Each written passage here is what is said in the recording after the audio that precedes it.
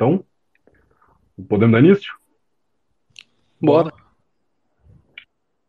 Show de bola. Pessoal, muito boa noite a todos. Eu sou o Matheus Lassan. Eu tenho um canal no YouTube, tenho aí um grupo de estudos, mais ou menos 30 rapazes aí que hoje são, graças a Deus, católicos, vacantistas totalistas, pessoal que não quer uma transigência nenhuma com o mundo moderno. Tem um trabalho no YouTube, estamos formalizando cada vez mais a nossa ação restauracionista. Então, quem quiser conhecer mais algum conteúdo que a gente tenha para falar, esses assuntos aqui, correlatos, análise de encíclicas, estamos aí no nosso canal Matheus Lassan por hora vai ser esse o nome, e depois a gente dá seguimento nas coisas.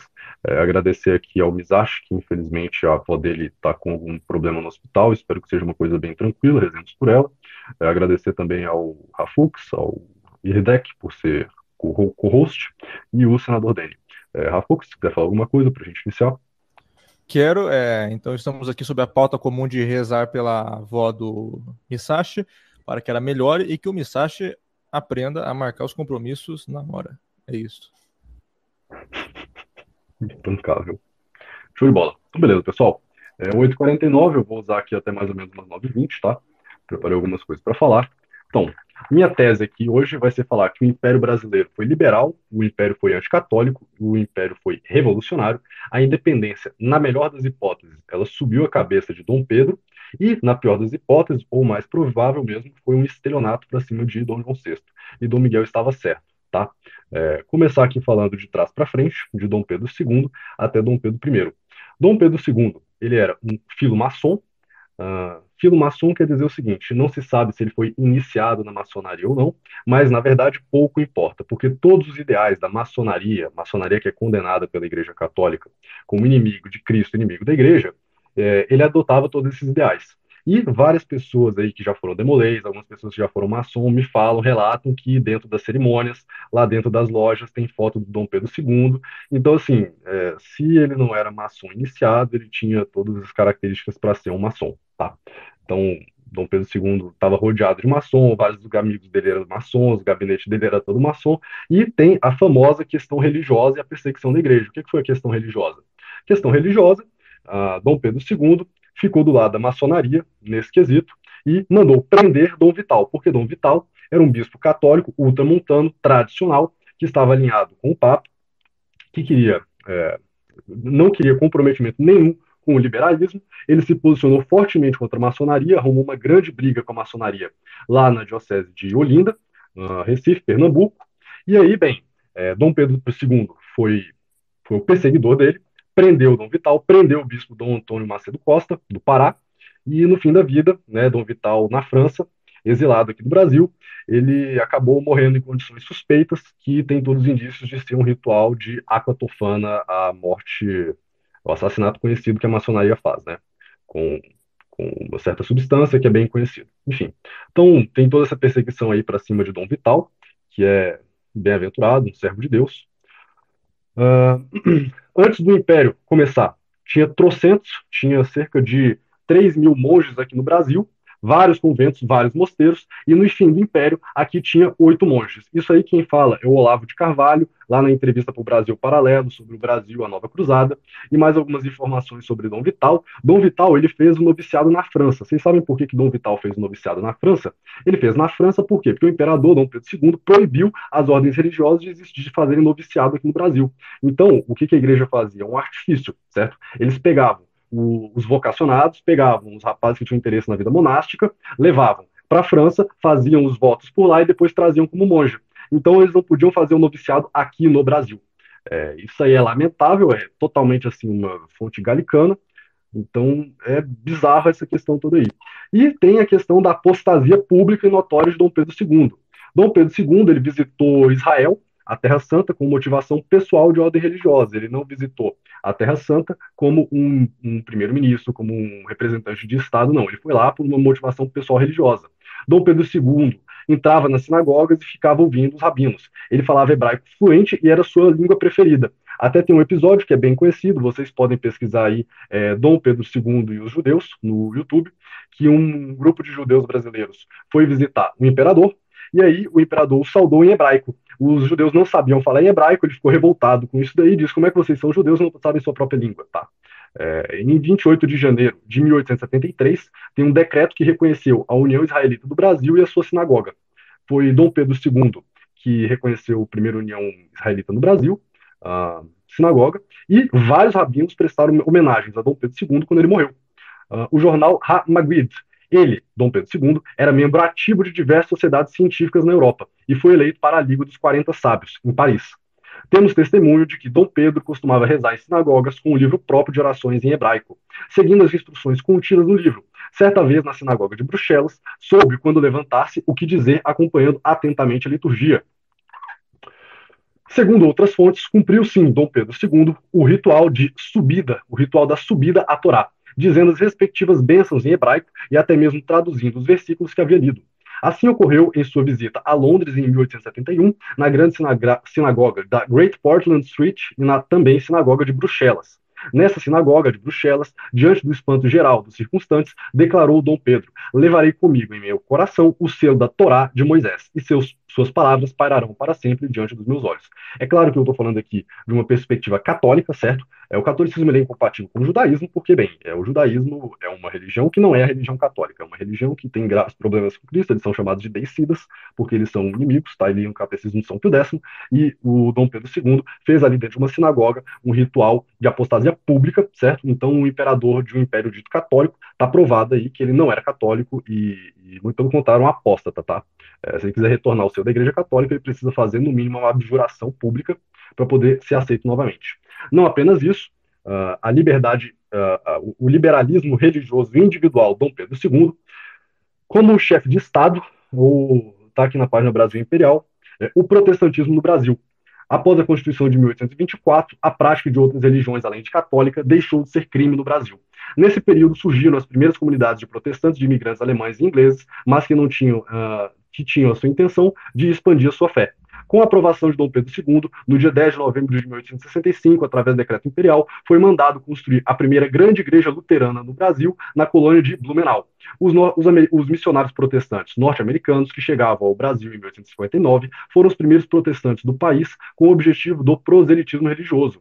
O crescimento do proselitismo brasileiro foi paralelamente acompanhado pela ideia liberal. Foi no seio das lojas maçônicas que os protestantes americanos encontraram pessoas dispostas a ajudar a fundamentar as congregações presbiterianas metodistas. O primeiro é, missionário presbiteriano, reverendo Ashbel Simonton, que chegou ao Brasil em 1859 e encontrou em São Paulo cerca de 700 protestantes. Se vocês pesquisarem aí, é, Universidade de Mackenzie, Universidade essas universidades protestantes, as primeiras lojas, as primeiras, as primeiras igrejas protestantes no Brasil, vocês vão ver que todas elas são do século XIX, durante o período de Dom Pedro II. Ou seja, quem abriu as portas para o protestantismo no Brasil foi Dom Pedro II. Então, se hoje o Brasil, lamentavelmente, não é mais um país católico, se o Brasil hoje é um país, infelizmente, um país protestante, coloca essa culpa no Dom Pedro II, que permitiu os missionários virem aqui para o Brasil pregar uh, falsos cultos, levar o povo para a perdição eterna, para o inferno. Esse aí é, é, é, é a atitude religiosa de Dom Pedro II, tá? Para corroborar ainda isso aqui. Embora a monarquia fosse um Estado religioso, um Estado católico, Dom Pedro II não coibia a liberdade religiosa e havia protestantes ao seu redor, como o reverendo metodista norte-americano Daniel Pershkider, considerado pioneiro no protestantismo no Brasil, que ficou no país entre 1836 e 1842 na qualidade de missionário metodista. E isso lá circulando, Palácio Imperial, tranquilo. Se a Constituição de 1824 garantia a religião católica como oficial do Império, também concedia ao imperador Dom Pedro II as atribuições de conceder ou negar beneplácitos dos decretos dos concílios, letras apostólicas e quaisquer outras constituições eclesiásticas. Ou seja, para o Papa fazer valer a fé católica no Brasil, certo? Ele precisava da sanção do, do, do Dom Pedro, Dom Pedro II, imperador porque sem a sanção do, do, do, imperador, ele não poderia mandar aqui. E várias vezes isso aí foi utilizado para sabotar a Igreja Católica, para sabotar a fé católica no Brasil e, e, e, e levar à liberdade religiosa. É, só conferindo aqui no YouTube. Ok. Então, continuando. Esse galicanismo aí que foi frequente no Segundo Império, certo? No segundo reinado foi frequente esse galicanismo. É, o próprio Dom Vital ele foi o bispo mais novo do mundo. Por que, que ele foi o bispo mais novo do mundo? Porque a ideia do imperador era escolher bispos jovens, extremamente jovens. Dom Vital foi eleito bispo com 27 anos de idade, porque imaginava-se que os jovens não estariam tão imbuídos do espírito ultramontano estariam mais afetos das ideias liberais. Então é um fato arquiconhecido que Dom Pedro II flertava com, com tudo quanto é tipo de ideia liberal, certo? É, tudo quanto é tipo de ideia liberal, é, era amigo da maçonaria do protestantismo, né? É, tanto que dizem o seguinte, né? É, Dom Pedro II não gostava nem um pouco da raiz lusitana que existia no Brasil, que quando ele foi golpeado, certo? Aqui até uma coisa muito importante para dizer, eu sou monarquista, não tenho nenhuma simpatia pela República, tá bom? Deixar isso bem claro. Mas quando aconteceu o golpe da República, o Dom Pedro II, ele não foi se exilar em Portugal. Vocês já pararam para se perguntar por que, que Dom Pedro II não se exilou em Portugal? Em Portugal foi oferecido a ele o título de conde.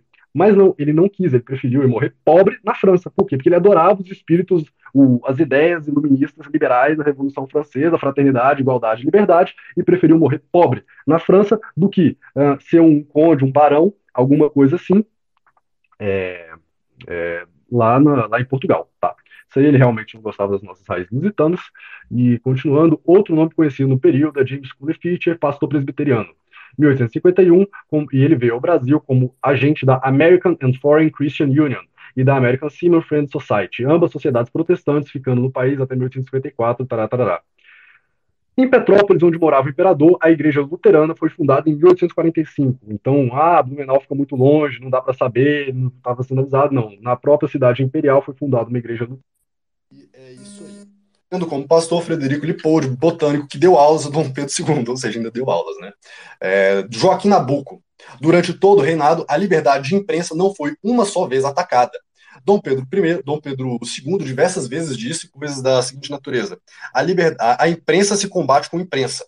Muito bem, aqui até este momento eu falei sobre a apostasia pública do Dom Pedro II, falei da sua forte relação com a maçonaria, falei da sua perseguição, da perseguição promovida por ele do, aos bispos da Igreja Católica, aos bispos tradicionais, aos bispos ultramontanos. Falei aqui do indiferentismo religioso, falei da liberdade de consciência e falei aqui agora, brevemente, da, da monstruosidade da liberdade de imprensa, certo?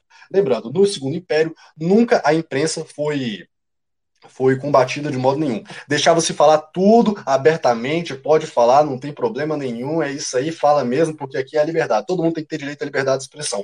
Agora nós vamos abrir aqui a encíclica Mirare Vos, do Papa Gregório XVI, Uh, promulgada em 15 de agosto de 1832, ou seja, antes de Dom Pedro, ele já sabia da existência dessa carta, e aqui alguns títulos, tá? É, condenação do indiferentismo religioso, o delírio da liberdade de consciência, a monstruosidade da liberdade de imprensa, os males da separação da igreja do Estado, é, e o, indiferentismo religioso, né, a liberdade de, de, de, culto.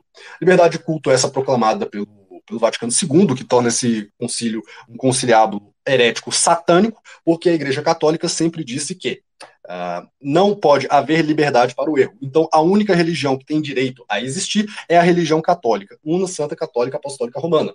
Todas as outras religiões não podem ser permitidas, elas têm que ser, quando muito, muito assim, quando é impossível alguma coisa, tolerada. Ora, não dá para dizer que precisava se tolerar o protestantismo quando não existia protestantismo no Brasil.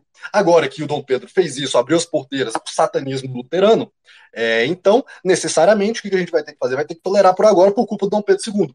Mas aqui está condenado o indiferentismo religioso nas palavras do Papa Gregório XVI. É um absurdo que outras religiões tenham direito à liberdade. É, delírio da liberdade de consciência é, dessa fonte do indiferentismo promana aquela sentença absurda e errônea, digo melhor, disparate, que afirma e defende a liberdade de consciência. Que morte há pior para a alma do que a liberdade do erro, dizia Santo Agostinho. Este erro corrupto abre alas, escudado na imoderada liberdade de opiniões que, para a confusão das coisas sagradas e civis, se estendendo por toda parte, chegando à imprudência de alguém se asseverar que dela resulta grande proveito para a causa da religião. É isso aí. Então, além disso, a monstruosidade da liberdade de imprensa. Você não pode permitir que fique falando aí, defendendo protestantismo, liberalismo, doutrinas anticatólicas durante um governo dito católico, tá? Se isso aí foi permitido durante o governo de Dom Pedro II, o segundo reinado, está provado que ele era um liberal, que ele era um anticatólico, que ele apostatou, portanto, está fora da igreja e é revolucionário o segundo império. Agora nós vamos partir aqui para o primeiro império, o primeiro reinado, é, que eu pessoalmente tem uma algo um pouco mais de gosto ainda mais desse assunto, tá? Só beber uma água aqui. Muito bem. Então, recapitulando os acontecimentos, em 1820 acontece a Revolução Liberal do Porto. Revolução Liberal do Porto, todo mundo lá era maçom, e aí a situação fica um caos, caótica. É, eles forçam a volta de Dom João VI. Dom João VI volta para Portugal e deixa Dom Pedro I como regente do Brasil. Em janeiro de 1822, janeiro ou fevereiro, não estou bem lembrado do mês, mas logo nos primeiros meses de 1822, tem aquela famosa carta de Dom João VI. Pedro, se antes que algum aventureiro faça a independência, pega tu mesmo e faz a independência deste país.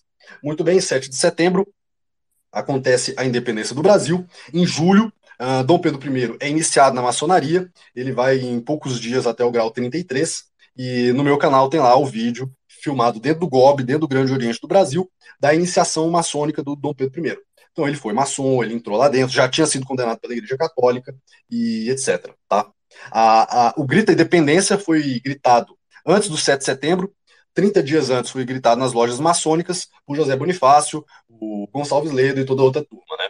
É, muito do clero que apoiou a independência em, em 1822 era maçom, incluído aí o Frei Sampaio. Muitos outros desse clero aí também defendiam a liberdade, a, a abolição do celibato para o clero, porque vários deles já tinham amantes, isso é uma coisa lamentável na história do Brasil, mas muitos padres sempre tiveram um amante, mulher, filho acolitando na missa, um horror. Mas esse tipo de coisa aconteceu. E aí, bem, antes de prosseguir para a história de, de Dom Miguel, certo? Já faço aqui respondendo uma objeção que pode fugir, surgir para melhor elucidar a questão. Ah, Dom Pedro era Dom Pedro I era maçom. Objeção, ele fechou a maçonaria, porque na verdade ele só quis entrar dentro da maçonaria para utilizar ali dos contatos da maçonaria, e depois ele fechou a maçonaria. E aí ele quis né, reformular a coisa como um todo. Então, isso aí é uma flagrante baboseira, mentira. Primeiro, se ele entrou, ele tem que abjurar, formalmente, tem um ato de abjuração. Esse ato de abjuração não existe. Segundo, a, a resposta mais, mais catedrática dessa questão é mostrar o vídeo A Catedral Maçônica de São Luís, que foi reformada em 1825. Ora, em 1822 aconteceu a independência. Como é que em 1825 Dom Pedro I manda construir um altar maçônico em São Luís? Para quem não conhece essa história, eu sugiro que vocês digitem Catedral Maçônica de São Luís. Lá vocês vão encontrar vários vídeos dentro dessa catedral. É uma catedral que tem a escada de Jacó, tem o olho que tudo vê, é o tablado preto e branco, aquela coisa, tudo, tudo, maçom. O que aconteceu? No início de 1825, caiu um raio dentro dessa catedral. Caiu um raio dentro dessa catedral, né? E aí queimou as coisas, derrubou uma cacetada de coisa. E aí o bispo de lá não tinha dinheiro, e aí ele mandou uma carta para o imperador pedindo dinheiro para fazer a reforma. Aí Dom Pedro I disse: tudo bem, eu faço a reforma, eu dou o dinheiro, desde que vocês façam um altar maçônico. Lamentavelmente, o bispo de lá cedeu, e tá lá um altar maçônico para todo mundo ver. É, público e notório. Então, assim, ah, Dom Pedro I não era maçom. Por que, que três anos depois de fechar a maçonaria ele vai e, e constrói um altar maçônico? Então, lamentável essa questão aí, tá? Agora, prosseguindo um pouco para falar sobre a, a, questão de Dom Miguel. Dom Miguel, ele é filho de Dom João VI, filho de Dona Carlota Joaquina, uh, é, irmão de, de Dom Pedro I, certo? Foi criado com muito mais influência de Dona Carlota Joaquina, isso é, é, isso é um fato. E ele vem de uma formação extremamente católica, extremamente católica, diferente do irmão, que o Dom Pedro I, além de maçom, ele também era mulherengo, isso aqui, não estou falando uma coisa, tipo, só queimar a cara dele, não, mas ele era mulherengo, todo mundo sabe disso, o Rafuc já falou isso várias vezes, qualquer pessoa fala isso aí, etc. Tá. É, e Dom Pedro I, Dom, Dom Miguel, muito pelo contrário, era um homem católico, extremamente devoto, uh, extremamente devoto, e, ok, Voltando aqui um pouco na história, se vocês bem se lembram, eu disse que em 1820 acontece a Revolução Liberal do Porto, e aí as cortes maçônicas portuguesas estão mandando no no, no, impera, no, no imperador Dom João, no rei Dom João VI, né? É...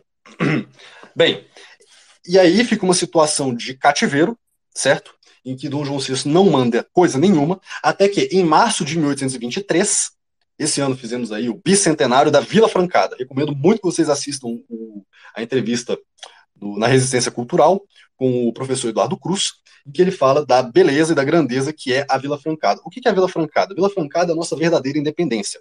Vila Francada foi quando Dom Miguel reuniu os exércitos, derrubou, prendeu e matou todos os, os, os os inimigos da nação portuguesa. Libertou e entregou o trono a Dom João VI. Isso aí virou uma festa. Dom Miguel era amado pelo povo português, amado, adorado pelo povo. Todo mundo amava Dom Miguel, porque ele era muito católico, porque ele fazia essas coisas todas. E bem, é, então, voltando aqui à minha tese. A minha tese é de que na melhor das hipóteses, a, a independência do Brasil subiu a cabeça de Dom Pedro I, mas muito mais provavelmente foi um estelionato. O que, que aconteceu?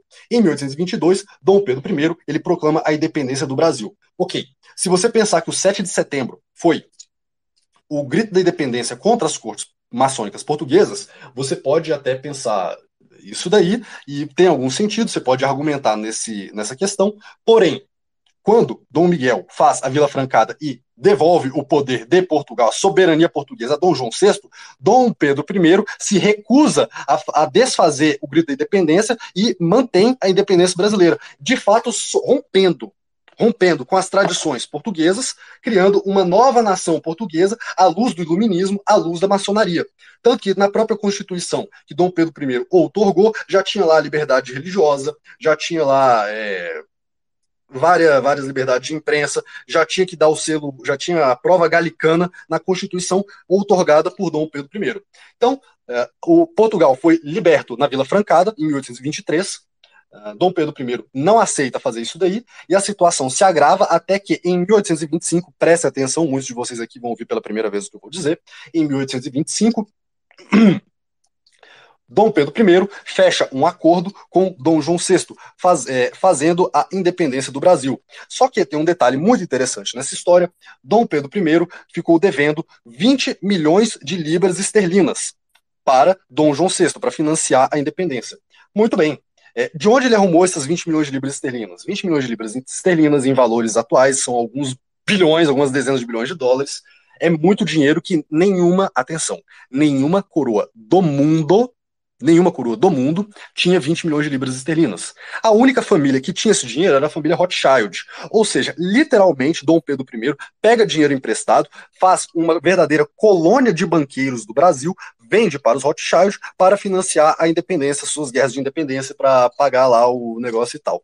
E aí, enfim, além além de vender para os ingleses, além de se meter com os Rothschild, além de fazer uma constituição anticatólica, a coisa aqui vai se agravando e em 1826 Dom João VI ele é assassinado. Não se sabe quem assassinou, isso é uma informação recente, muitos livros de história ainda não está não tá disponível, mas se pesquisar assassinato de Dom João VI, Paulo Resulti, vocês vão encontrar que o corpo dele, o corpo de Dom João VI foi exumado uh, no ano 2000, e lá encontraram uma quantidade de arsênico, a mesma, a mesma substância que veio a matar uh, Dom Vital muitos anos depois, no, na sua intestino. Ou seja, não se sabe exatamente quem foi que que assassinou Dom João VI, mas Dom João VI foi assassinado num contexto em que Dom Pedro I tinha vendido o Brasil para os Rothschild e estava 100% fechado com a maçonaria, como a gente viu até aqui.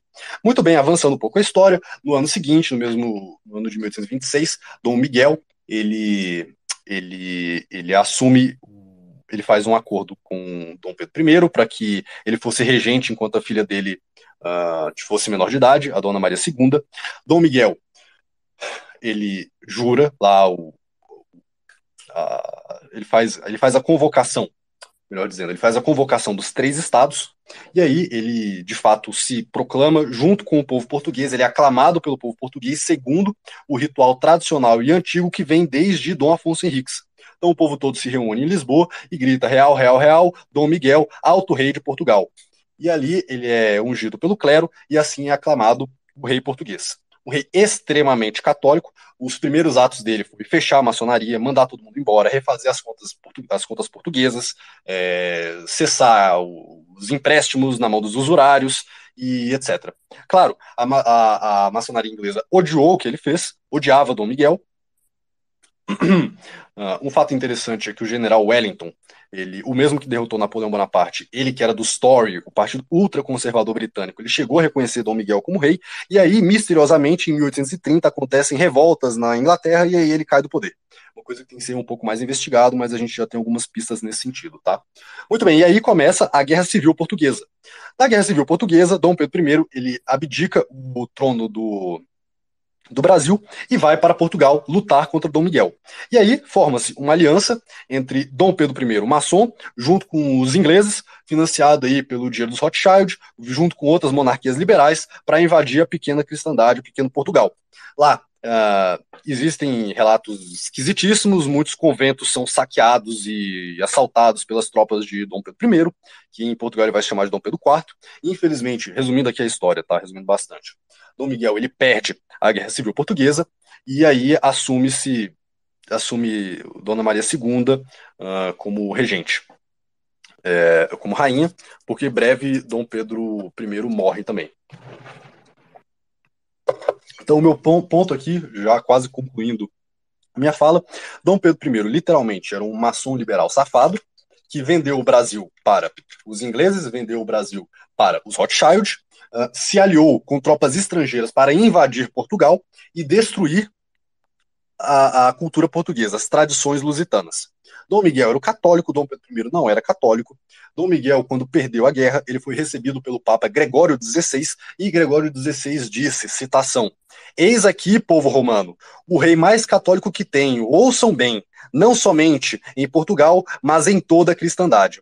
Ou seja, Dom Miguel, claramente um tradicional, um contra-revolucionário, antiliberal, que foi reconhecido por um dos papas mais antiliberais do século XIX, que foi Gregório XVI.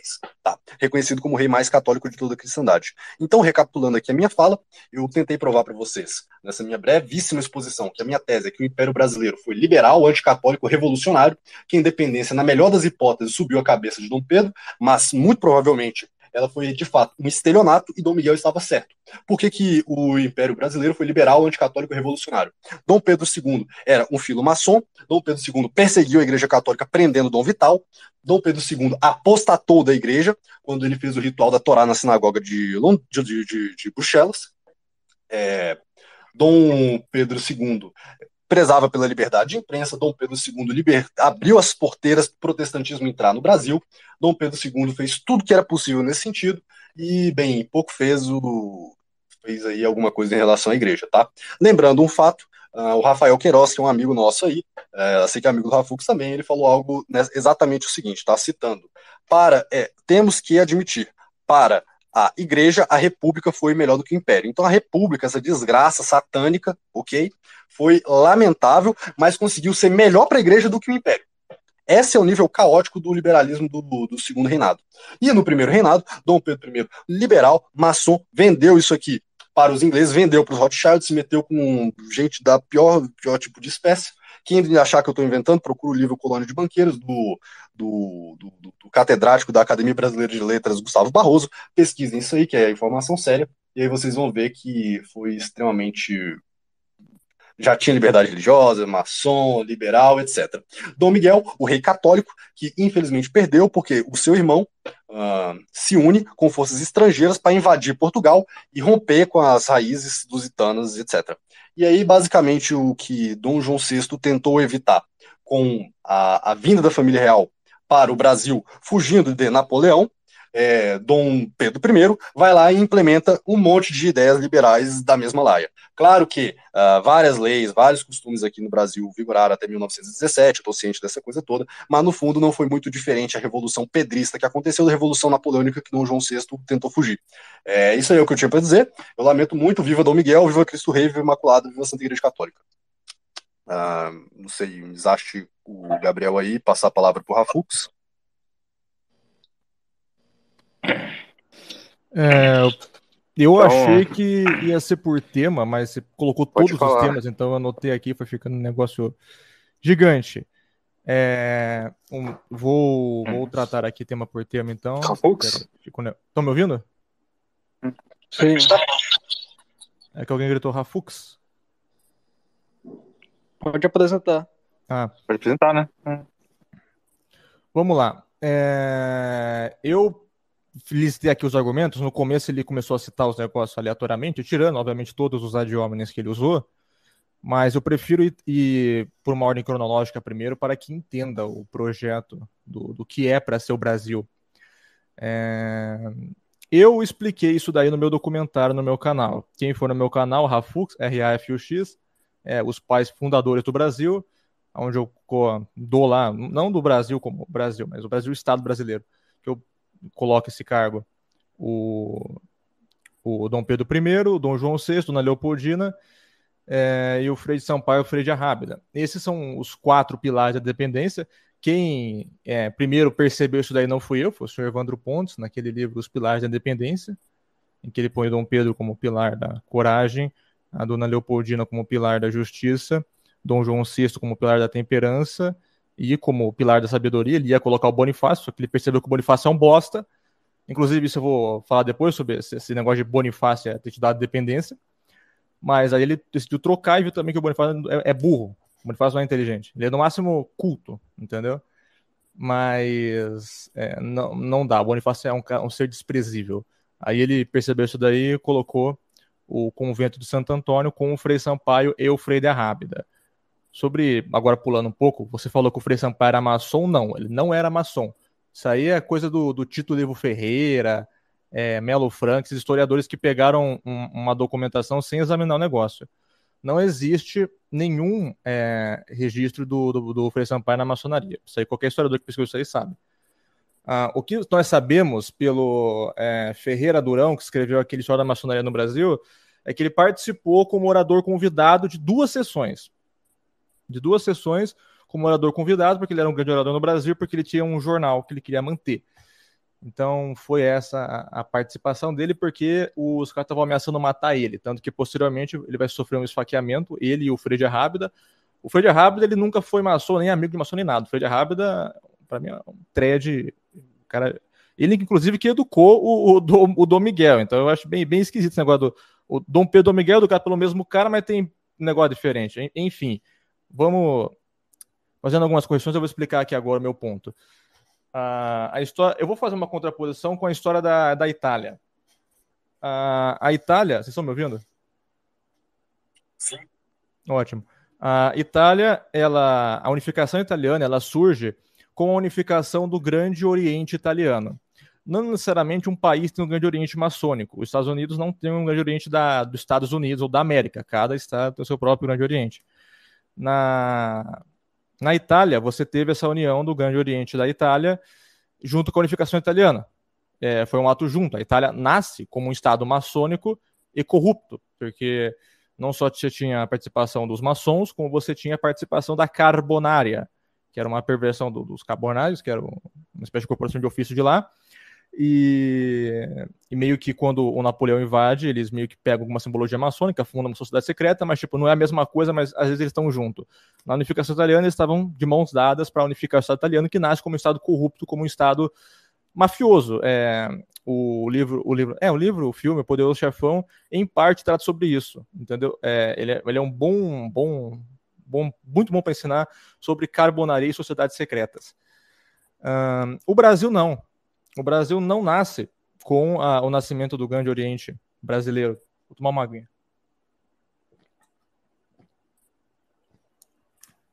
O Brasil nasce sim com um projeto é, metafísico, assim, é, com, com, intenções que não são só a matéria, mas não é um projeto é, de teor gnóstico, nada do tipo. É o projeto ultramontano. Uh, o, o Brasil nasce em 1500 é, a ideia de você povoar o Brasil, porque ele foi descoberto, veio pouquíssimas pessoas para cá, aí depois vieram mais por conta do incentivo do, de, de muitos clérigos em usar o Brasil como uma tela em branco, de você trazer os católicos para cá para ganhar o que, que perdeu na Europa. Então, o, muitos é, dos católicos que vinham para cá vinham para tentar implantar o Concílio de Trento aqui. Então, essa foi a ideia inicial de quando os, os primeiros portugueses vieram para o Brasil em 1500. Acontece que essa ideia se perdeu. O, o clero colonial era um clero extremamente corrupto, totalmente galicano. O, o pai do nosso do ultramontanismo no Brasil, que para mim, é, se não é um dos pais, é o pai que eu, que eu mais gosto, que é o Dom Romualdo Antônio de Seixas. Ele, ele relata que quando ele era mais novo, ele via é, é, prefeitos de cidades, eles pensavam mais ou menos assim: se o rei pode nomear os bispos, por que eu não posso nomear o, o, os padres da minha cidade? Então, o prefeito nomeava os padres, um negócio absurdo. Além de, tipo, padre com filho, como o Matheus já falou e tudo mais. Um, o, o na, no Brasil colonial, a própria função de, de você ser clérigo era você poder estudar. Então, normalmente, o cara quer ser advogado, quer ser doutor, quer ser cientista, ele virava clérigo, porque isso era uma forma dele estudar. Então, isso aí, isso daí foi muito importante. Então, só que, então tudo isso aí foi esquecido no período colonial. Um, salvo raros momentos em que você tem um, um forte revelamento da fé, como Mascates, é, a guerra contra a Holanda e tudo mais. Só que aí a questão tá, é, na Guerra dos 30 Anos, na guerra que, que a Espanha faz contra os inimigos da igreja, que, que a Casa de Habsburgo faz, é, o, o, tava a Espanha contra a Inglaterra e a Holanda e as potências protestantes. Nesse momento, Portugal trai a igreja. Nesse momento, Portugal se alia à Inglaterra para conseguir a sua independência. Com Dom João IV, ele é excomungado da igreja. E, e, e, o erro de Portugal começa aí. A partir disso daí, Portugal é, não é mais uma, um país independente. Portugal é um, é um protetorado da, da Inglaterra na Ibéria. Exemplo, Tratado de Methuen. Portugal se compromete em não se, em não se industrializar para não fazer concorrência para o mercado inglês. Entendeu? Se isso é um país independente, eu não sei o que é. Tá bom? Então, esse é o maior problema. O, o Dom João VI, ele meio que percebe que o ancestral dele fez cagada e ele pensa: olha, Portugal tá perdido, Portugal é uma nação fraquíssima, entendeu? Não tem como fazer uh, o, o, Império Luz. O Império Luz acaba na independência da, de Portugal da União Ibérica, entendeu? Esse negócio de Império Católico. Tanto que aí vai nascer o, o lance do, do, Quinto Império, que é uma heresia milenarista. É... E aí por isso ele é excomungado da igreja. É, depois disso, Dom João ele percebe, Dom João VI, não quarto agora, ele percebe a cagada que é ficar em Portugal, que Portugal não tem chance nenhuma contra, contra a, a, os países vizinhos deles, uh, que são todos protestantes, heréticos. Uh, com exceção da Espanha, mas tipo França podia facilmente invadir Portugal, como aconteceu, a Inglaterra. E com isso, Dom João ele vem para o Brasil. Ele usa o Brasil como uma arca da aliança uh, ah, para proteger o ancien regime. É, com isso, a ideia do Dom João é o seguinte: você protege o Brasil e você torna o Brasil o centro do mundo luso, que é o nosso posto até hoje. Eu descobri recentemente, falando com portugueses, que uh, eles consomem bem mais coisa de, do Brasil do que de Portugal. Então, o Brasil é angolano e tudo mais. Então, o Brasil é o centro do mundo luso até hoje. A mudança que Dom João fez é irreversível. O Brasil é o centro do mundo luso. Então, o que aconteceu foi, é, Dom João veio para cá e estabeleceu o Reino Unido. O que, que é o Reino Unido? É basicamente o Brasil, grande Império Luso, e alguns países satélites, Portugal aqui, umas outras ilhas ali para ficar escravo esse tipo de coisa. Para Portugal, foi um negócio completamente horroroso, entendeu? Eu vou pegar um dado aqui para vocês que tem num livro da FUNAG, é Singularidades da Independência Brasileira. É na página 48, onde ele mostra a evolução do PIB de Portugal. Onde, se vocês olharem o gráfico na parte do terremoto de Lisboa, você vê uma queda no nível de Portugal da economia, mas ainda uma queda saudável. Em 1808, a economia de Portugal destroça, entendeu? Então, tipo, o Reino Unido foi para Portugal pior do que o terremoto de Lisboa. O... Para vocês verem o nível. Isso criou grandes ânimos em Portugal, é, que estava, até essa altura, já era comandada por, por lojas maçônicas, até antes do Pombal. Os defensores de Portugal não falam isso, mas o, o antes de Pombal, o, a Inquisição Portuguesa pegou aqui, ó, achamos aqui um maçom, o John Coutos, temos que, que matá-lo ele, matar ele. Vamos matá-lo, porque o maçom. O rei falou: não, não, não, não. É, o rei da Inglaterra ligou para mim, eu tenho que devolver ele. Aí o, o rei dele devolve, o rei entregou ele para a Inglaterra e o cara escreveu um livro falando como ele foi bem tratado. Então não, não é essa, essa ilusão que vocês pensam de que perseguia maçom, não nada disso. É, depois de 1640, obviamente. Mas aí que tá. É, a independência do, do Brasil, é, com, essa, com esse grande ódio que Portugal nutria do, do Brasil, foi uma independência de Portugal do Brasil e não o contrário. Entendeu? É assim que eu interpreto, porque é assim que ela é. Dom João mudou a, a corte para cá. O Brasil não queria é, independência, o Brasil queria só existir. Portugal é, fez uma revolução maçônica, queria se separar do Brasil, de forma óbvia, que é, que é, que é destruindo toda a obra do Brasil, tentar voltar isso daqui a como era antes de 1808. O Brasil não ia ter nem tribunais. Imagina um, um país do tamanho, quinto maior país do mundo, que não tem tribunal, você tem que mandar uma, uma carta que você quer fazer lá no seu cartão lá para Lisboa. Isso aqui não ia durar nem um mês. Então, mesmo que, que tenha durado o quê? Um ano, dois anos, três anos, a Revolução do Porto, Isso, o jeito que eles estão fazendo é durar um mês. Então, todo o legado civilizacional de Portugal aqui estaria perdido para sempre, igual houve na América Espanhola. Estão me ouvindo? Sim. É ótimo. É ótimo. então é isso. O... Todos, isso aí em qualquer livro de, de independência. Pega Oliveira Lima, o Movimento da Independência, isso aí você vê. O, o primeiro discurso que, ele, que os deputados brasileiros iam fazer na, nas Cortes de Lisboa era, não era tipo, o Brasil, temos que, que destruir Portugal, não, é tipo, oh, deixa a gente existir. Tipo, oh, vamos fazer um Reino Unido, manter o Reino Unido, não vamos destruir essa aliança legal, não. E é, os deputados de Lisboa riam dos caras, xingavam, insultos raciais. É, é era impossível o negócio, o jeito que estava. Entendeu? Então, aí o Dom Pedro I ele é obrigado a a ter que. Não, não é bem uma independência, é que tá. A nossa independência ela foi mais uma anti-balcanização. Portugal estava ameaçando fragmentar isso daqui numa guerra patricida, igual foi a América Espanhola. E se vocês acham que o, que o segundo Renan fez com os bispos é com um bispo específico, é o Dom Vital, foi, foi osso, vocês não sabem nada sobre a América, história da América Espanhola, a perseguição que é a América Espanhola. Estudem a história da Igreja Argentina. Vocês Vamos pensar que o Dom Pedro I, o Dom Pedro II foi amigo do Dom Vidal. Estuda esse negócio. Vou tomar uma aguinha, um minuto. É, vou aproveitar para pegar a, a, parte aqui. Eu quero pedir imensamente perdão a todos que estão aqui pelo, pelo meu atraso. Eu tinha marcado para iniciar o Spaces com vocês às 8h30, só que acontece que eu acabei atrasando o, o percurso. É, eu pensei que eu ia chegar mais cedo em casa mas eu acabei tendo que acompanhar a minha mãe e a minha avó até o hospital. A minha avó está fazendo quimioterapia, inclusive eu agradeço quem rezar por ela. É, mas eu consegui entrar aqui agora. Eu tenho algumas algumas perguntas. Eu posso, pera, ô Negão, eu posso esperar. Você pode esperar eu terminar de fazer a minha fala para depois. Não, eu posso esperar. Eu só tô, só tô explicando aqui. Eu ah, só tô tá eu tenho algumas perguntas e também considerações que eu preparei para essa discussão. É...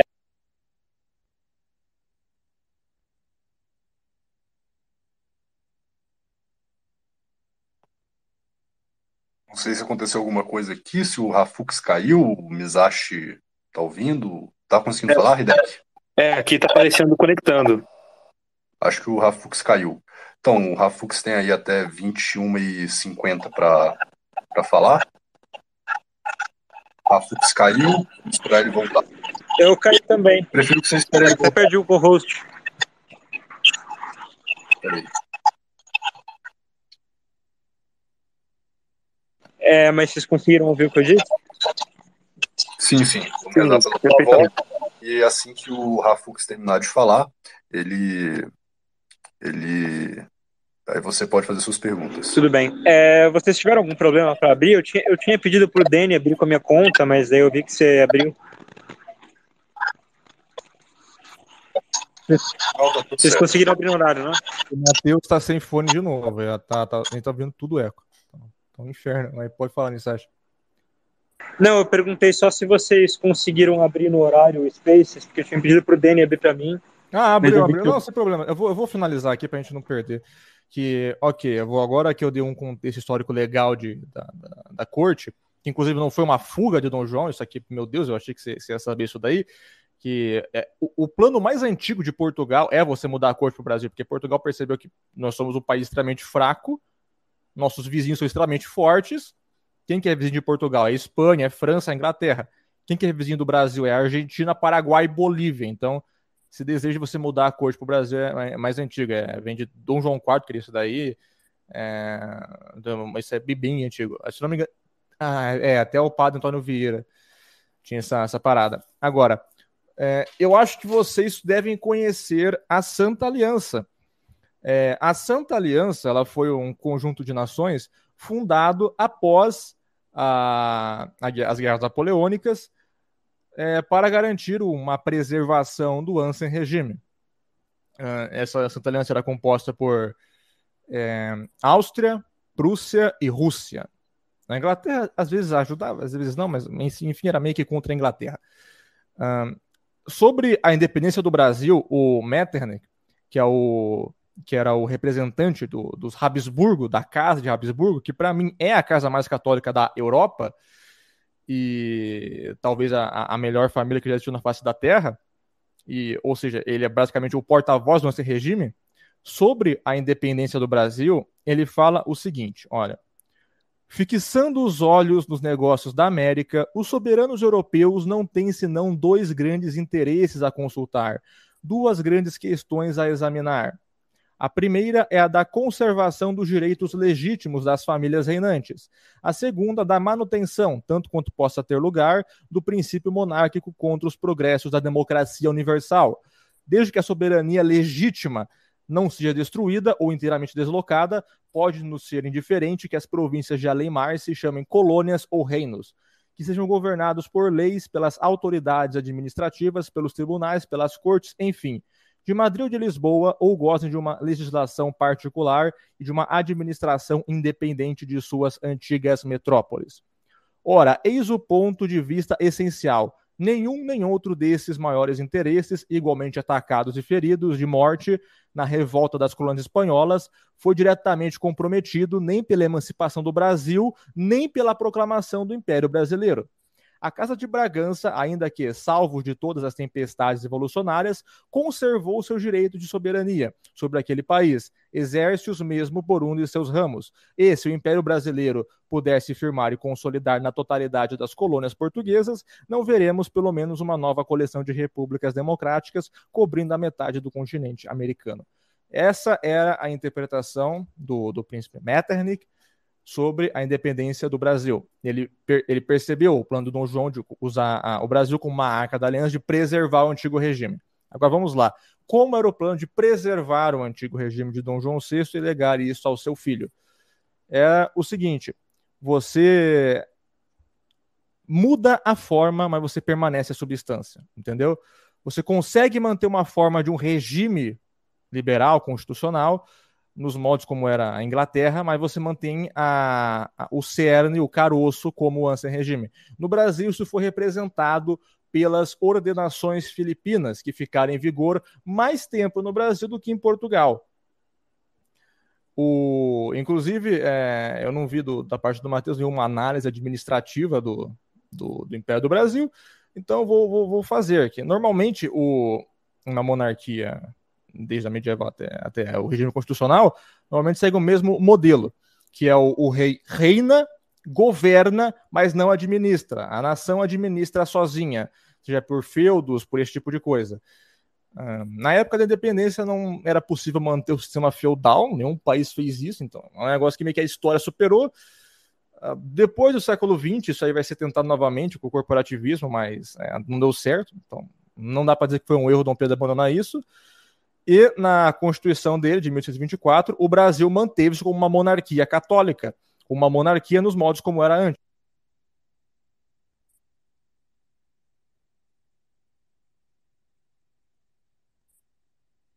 Impressão minha ou o Rafux caiu? Acho que ele só é. parou de falar. Vamos lá.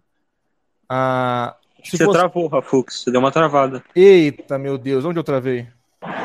Alguém lembra a última palavra? Brasil era administrativamente reinado, parará, parará.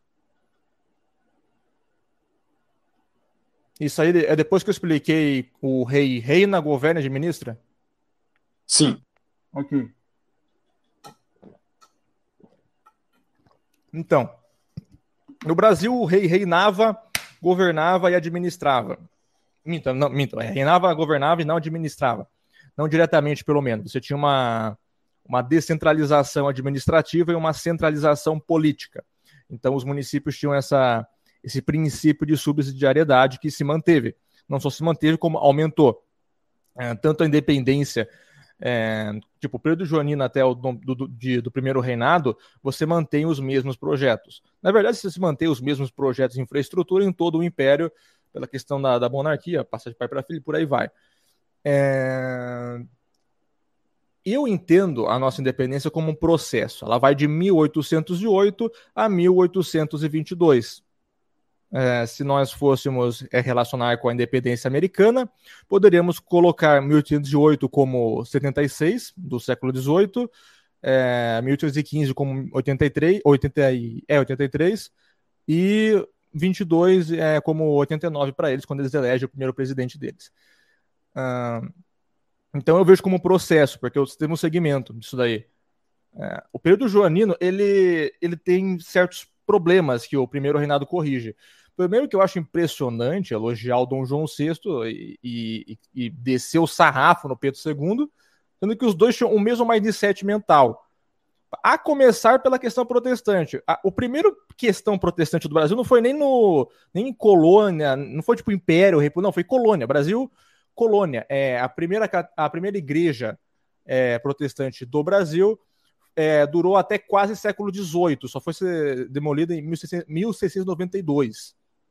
Isso é, é muito antigo. Jogue no Google aí, qualquer pessoa consegue achar a primeira igreja protestante do Brasil. Depois continuou com cultos é, em casa e tudo mais. Você tinha lance do, dos, cristãos novos, esse tipo de coisa. E o balacobaco é Dom João VI. O Dom João VI faz aquele tratado com a Inglaterra que ele chama a igreja anglicana para cá. A igreja anglicana chega no Brasil com o Dom João VI. Aí depois, com, com o Dom Pedro I, no primeiro reinado, com a, como instaurou a lei que não pode ter, ter cultos é, protestantes, é, aí cessou esse negócio. Só vai começar a questionar essa lei lá no segundo reinado, mas segundo reinado é outro reinado. É, mas então isso daí, o primeiro reinado nucou esse tipo de, esse tipo de coisa. É, além de, de outras questões com a Inglaterra, que tem que ser melhor analisadas do, da questão do Dom João VI. Porque o Dom João VI também centralizou muito o poder, é, ele que começa um processo de centralização que eu não acho muito saudável. Apesar dele não ser um, um cara liberal, é, o, se não me engano, o João Camilo fala isso, que essa é o grande, esse é o grande mal do Reino Unido. O, é, um se é liberal em um, se é conservador em outro. O Dom João foi liberal no Brasil, ajudando a Inglaterra, protestantismo e tudo mais, e na, na, em Portugal ele foi, foi, foi sangue e ferro, ele perseguiu maçons, caralho, a quatro.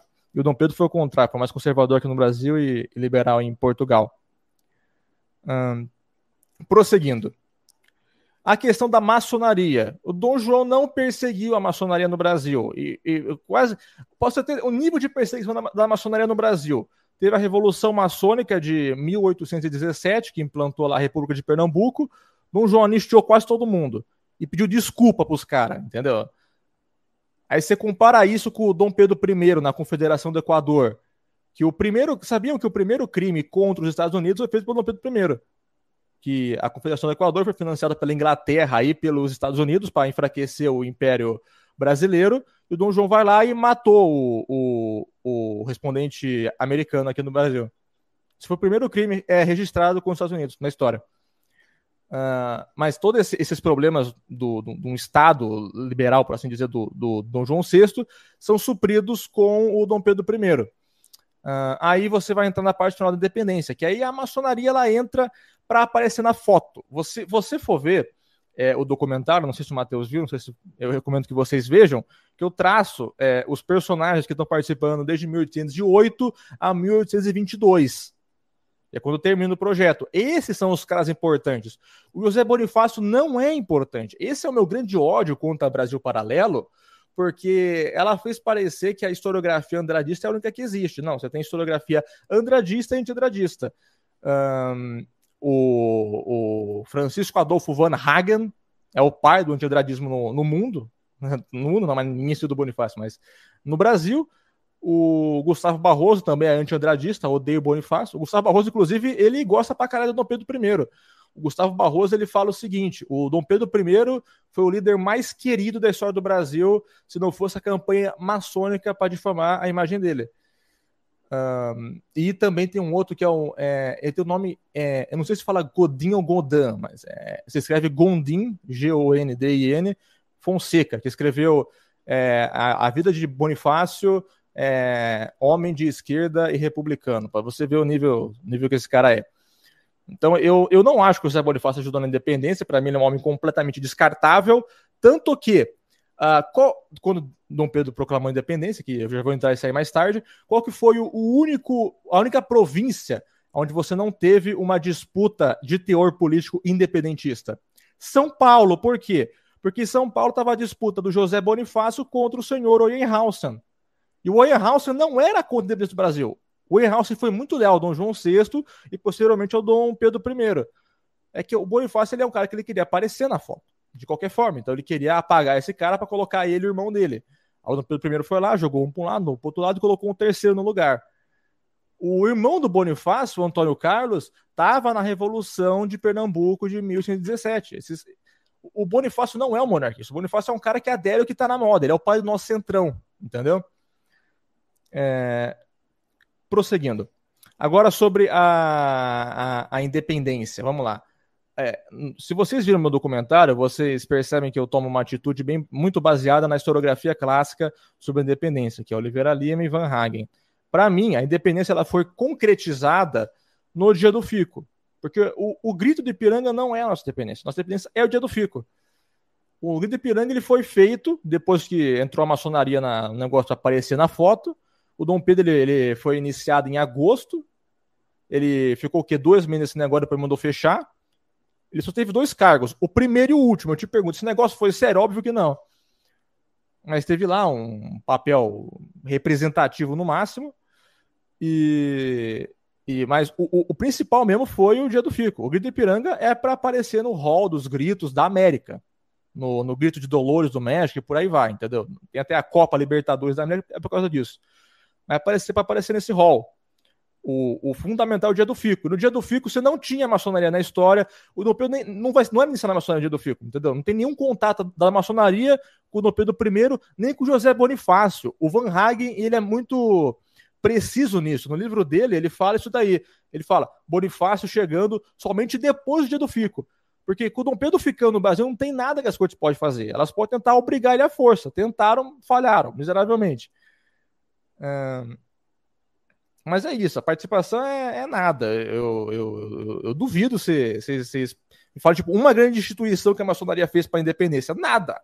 Quem fez a instituição para a independência é Dom João VI, Dom Rodrigo de Souza Coutinho, também o um nome completamente esquecido, Tomás Antônio Nova Portugal, inclusive esse último, é, inclusive, é, voltando para o assunto da maçonaria do Dom João VI, o Dom João VI era tão apegado com a maçonaria que tinha uma loja no Brasil chamada é, São João de Bragança. Nunca foi nada contra ela. Teve que os caras fazer uma a loja, uma reunião maçônica dentro do Passe Imperial. O Tomás Antônio ir lá e fechar essa parada. o Tomás Antônio ele era, ele era cético com esse negócio. O, quando deu a Revolução do Porto, ele pensou: Ó, oh, Dom João, você fica no Brasil, tá com força Portugal. Aqui é, é, o novo Portugal, aqui é o novo Império. Então vamos ficar aqui e pegar as colônias pra gente, Portugal, que se dane. Aí o, o Dom João, ele, ele ouviu o, o, Palmela, que era o nome do cara, literalmente Palmela, não, não, não, mas era o título dele Palmela. Um pequeno, Pedro Alston. É, teu amigo e, ele combinou uh, usar o mesmo tempo que eu, então vai dar 21 e 50 Aí só Putz, cara, tá com tempo. Nossa, é tristeza, cara. Eu não comecei nem, nem os seus pontos, cara. Porra, é tristeza pra caralho. Não cala a boca, hein, Rakux?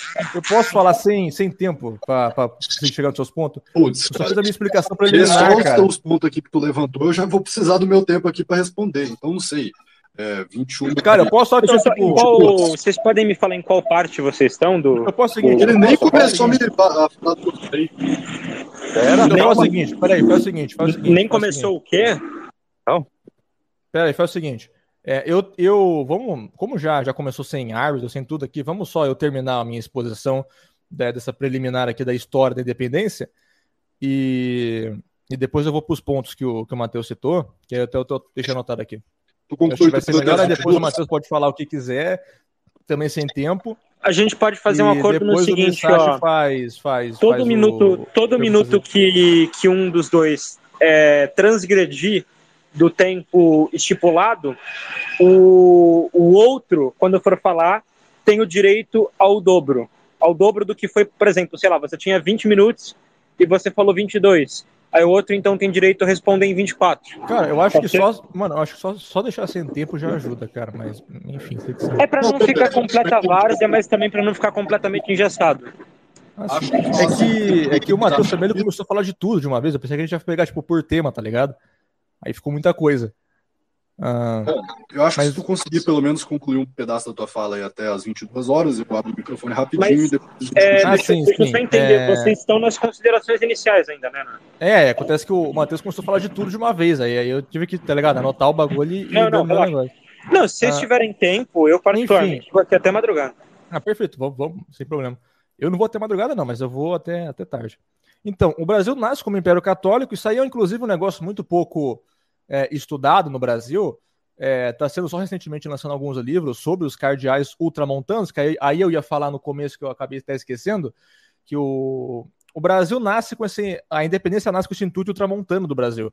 O, o Dom Pedro I vai nomear os nossos dois cardeais mais ultramontanos, e para mim os mais beijos da história do Brasil, que é o Dom Romualdo Antônio de Seixas e o Dom Marcos Antônio de Souza, entendeu? Se, se você pegar o, o Feijó, todos esses caras, pensar como eles não conseguiram, depois dos golpes maçônicos deles, é, colocar casamento civil, Estado laico no Brasil. É esses caras. Esses caras, no período inicial, eles conseguiram minar tudo. Entendeu? Esses caras são bravos demais. O Dom Pedro I é um dos caras que mais nomeou o Bispo Tramontano. Dom João VI quase não nomeou nenhum. É, é, não nomeou, mas tipo, teve alguns que foi nele. Tipo, o Dom, Vita, o Dom Romualdo ele teve uma nomeação, mas se não me engano, não foi por causa do Dom João.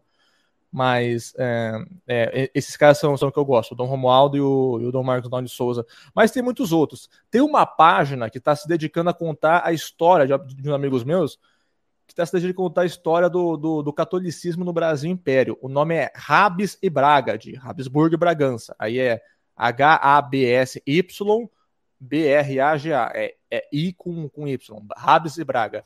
É Império do Brasil e, e conta esse tipo de história. É muito interessante. Mas então, ah, voltando agora para os seus pontos que você disse, vamos lá. É, Império do Brasil não era católico? Não. o argumento principal é o seguinte: se não era católico, então não tinha questão religiosa. Você não tem como no Império. Você imagina, um Império Romano que mata não sei quantas questões por dia, cada questão que você mata é uma crise no, no, na monarquia. Não, não é. Então, o, o, Brasil era Império Católico, por isso teve a questão religiosa, porque o Império perseguiu o, um bispo. No caso, o Dom Pedro II. É, o Dom Vital, é, eu gosto do Dom Vital, ele estava certo da questão religiosa. Sobre o Dom Pedro II, é, aí é uma questão muito mais complicada, porque é, aí é um ponto que a gente pode até concordar, porque eu a, a minha discussão com você é o seguinte: para mim, a independência foi um projeto sancto, mas o, o Dom Pedro I era o que eu considero como um conservador católico. Agora, o Dom Pedro II é complicado. O Pedro II é, teve muita influência na educação dele de, de várias, vários elementos, e ele acreditava, assim, de fato, nas ideias liberais. Acontece que o Dom Pedro II ele tinha uma grande capacidade de ficar neutro nas questões, então ele, muitas das vezes, ele for, é, tem um livro chamado Questão de Consciência, que estuda ultramontanismo no Segundo Reinado, o, o, segundo reinado foi o reinado do ultramontanismo. O Dom Pedro II ele só nomeava cara ultramontana para os bispados. É, então, não é tipo, não tem essa, essa inimizade aí, aí que vocês. Entendeu? Senão ele nomeava o Dom Vital, começa por aí. Mas. Sim, o Dom Pedro I ele fez várias coisas que eu discordo, como a, o fecha, é, o lance dos, dos monges que vocês estão no começo do vídeo, no começo do vídeo não, no começo da live, dos monges é, que sobrou só três no Brasil, isso daí é culpa específica do Dom Pedro II. Esse é o meu maior problema com a galera que fala do Império, que eles, para eles, o Dom Pedro II é o Império, e não é. Ele vem de uma linha que tem o Dom João VI, Dom Pedro I, Dom Pedro II, depois a Isabel. O Dom Pedro II, com o liberalismo dele, é o tiro fora da reta, entendeu? Depois é voltar aos textos da Dona Isabel. Ah, mas no Pedro II ele faz lá a lei de proibir novícios no, no, nos, nas ordens religiosas, aí eu acho uma bosta também. Eu discordo pra caramba disso aí do Dom Pedro II. Apesar dele ter qualidades. Para mim, o Dom Pedro II ele foi a anti-Maria I de Portugal. A Maria I de Portugal ela foi uma pessoa muito boa religiosamente, mas para todo o resto foi um lixo. Ela manteve os. Tipo, tirou o Pombal e manteve o mesmo ministro do cara.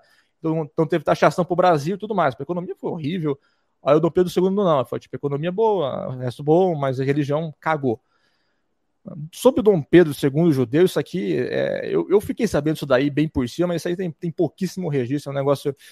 Sinceramente, que a ausência de fonte disso daí, tipo, é, tem fontes, mas é fonte do cara que tem a fonte de uma carta da, desculpa interromper, mas da carta da princesa Isabel, né? Mas era justamente a princesa Isabel como regente criticando ele por ter visitado uma sinagoga, né? Então, mas agora, é, colocar ele como um judeu, como um cara assim, é, é meio complicado. Porque a gente sabe que ele era mente aberta, tipo, ele ia em tudo, tá ligado? Tipo, tudo, tudo, tudo, tudo. Uh, o protestantismo no Brasil, é, como eu disse, o, isso aí, o, o único ponto, tipo, o, você não precisava nem ter protestantismo no Brasil para ser uma, uma degeneração total. Como eu expliquei no começo, o próprio clero regalista e galicano da época colonial é, já vai fazer esse trabalho protestante, tá ligado?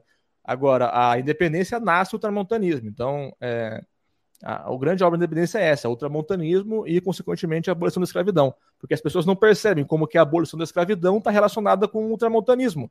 Porque quem aboliu a escravidão no Brasil foi um Papa, não foi o Isabel.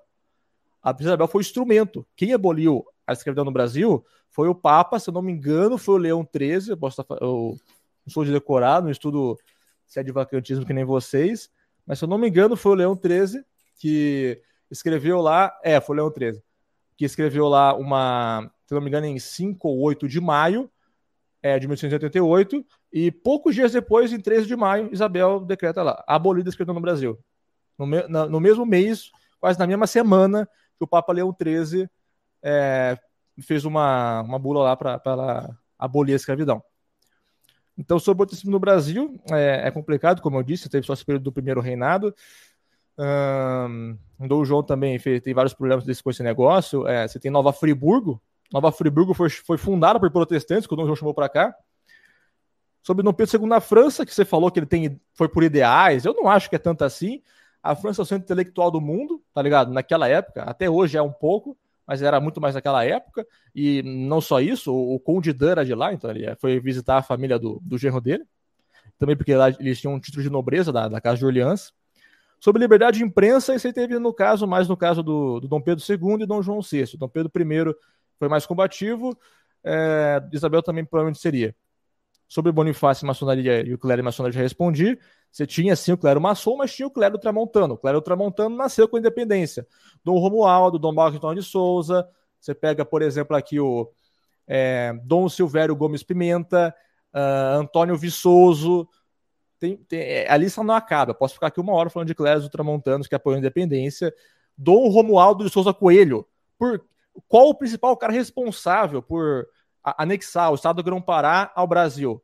Dom Romualdo Souza Coelho, o tio do Dom Romualdo Antônio de Seixas, que era muito amigo do Papa, Gregório, do Papa Pio IX do Gregório XVI, e ele anexou o, o Grão-Pará ao, ao, Brasil, e por isso o nome do título do, do, do herdeiro depois do príncipe imperial é herdeiro do Grão-Pará, em homenagem a esse bispo ultramontano. Agora, Dom Miguel Formação, já respondi.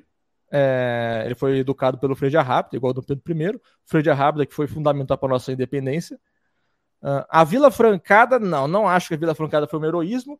Eu, sobre o miguelismo, eu tenho sérias dúvidas que dá para elaborar mais para frente. Para mim, o, miguelismo é um, é um Carlota Joaquinismo. Para mim, que o Dom Miguel não fazia nada que mandava a dona Carlota Joaquina.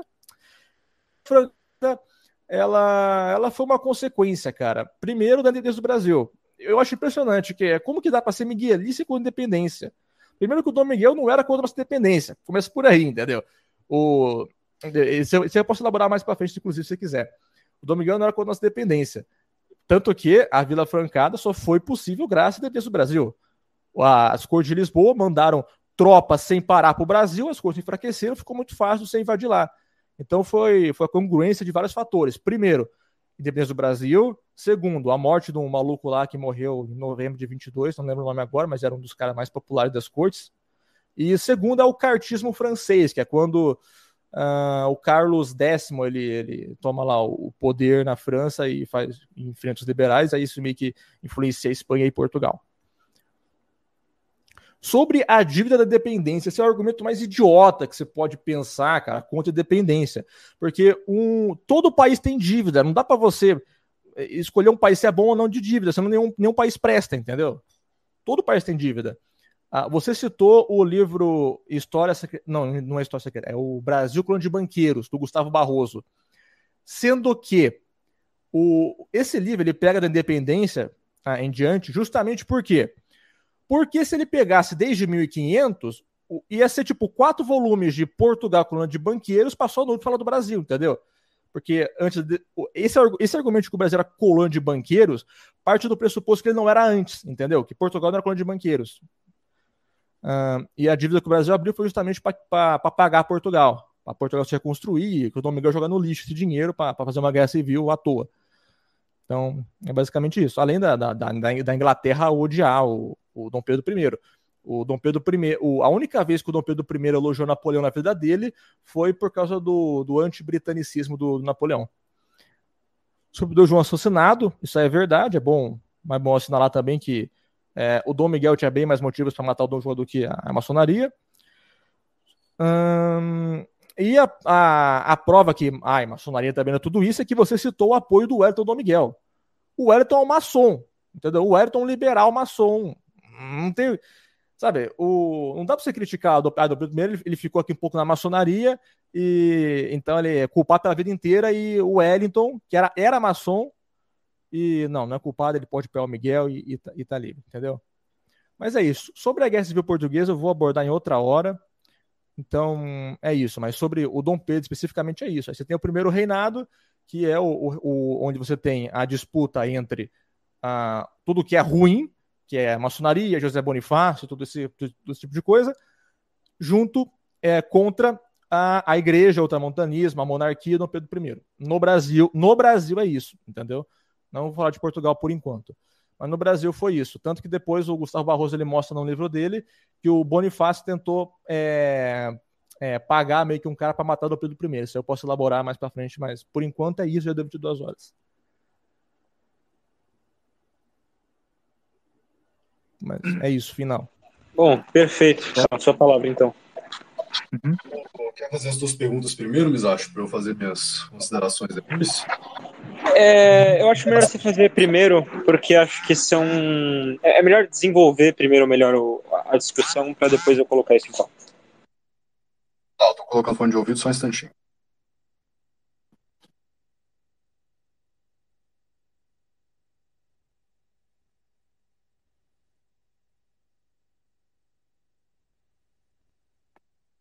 Estão me ouvindo bem?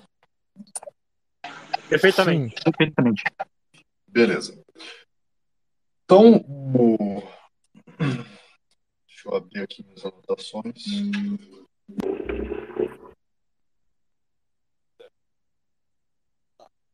É, o Rafux diz o seguinte: o clero ultramontano nasceu com a independência.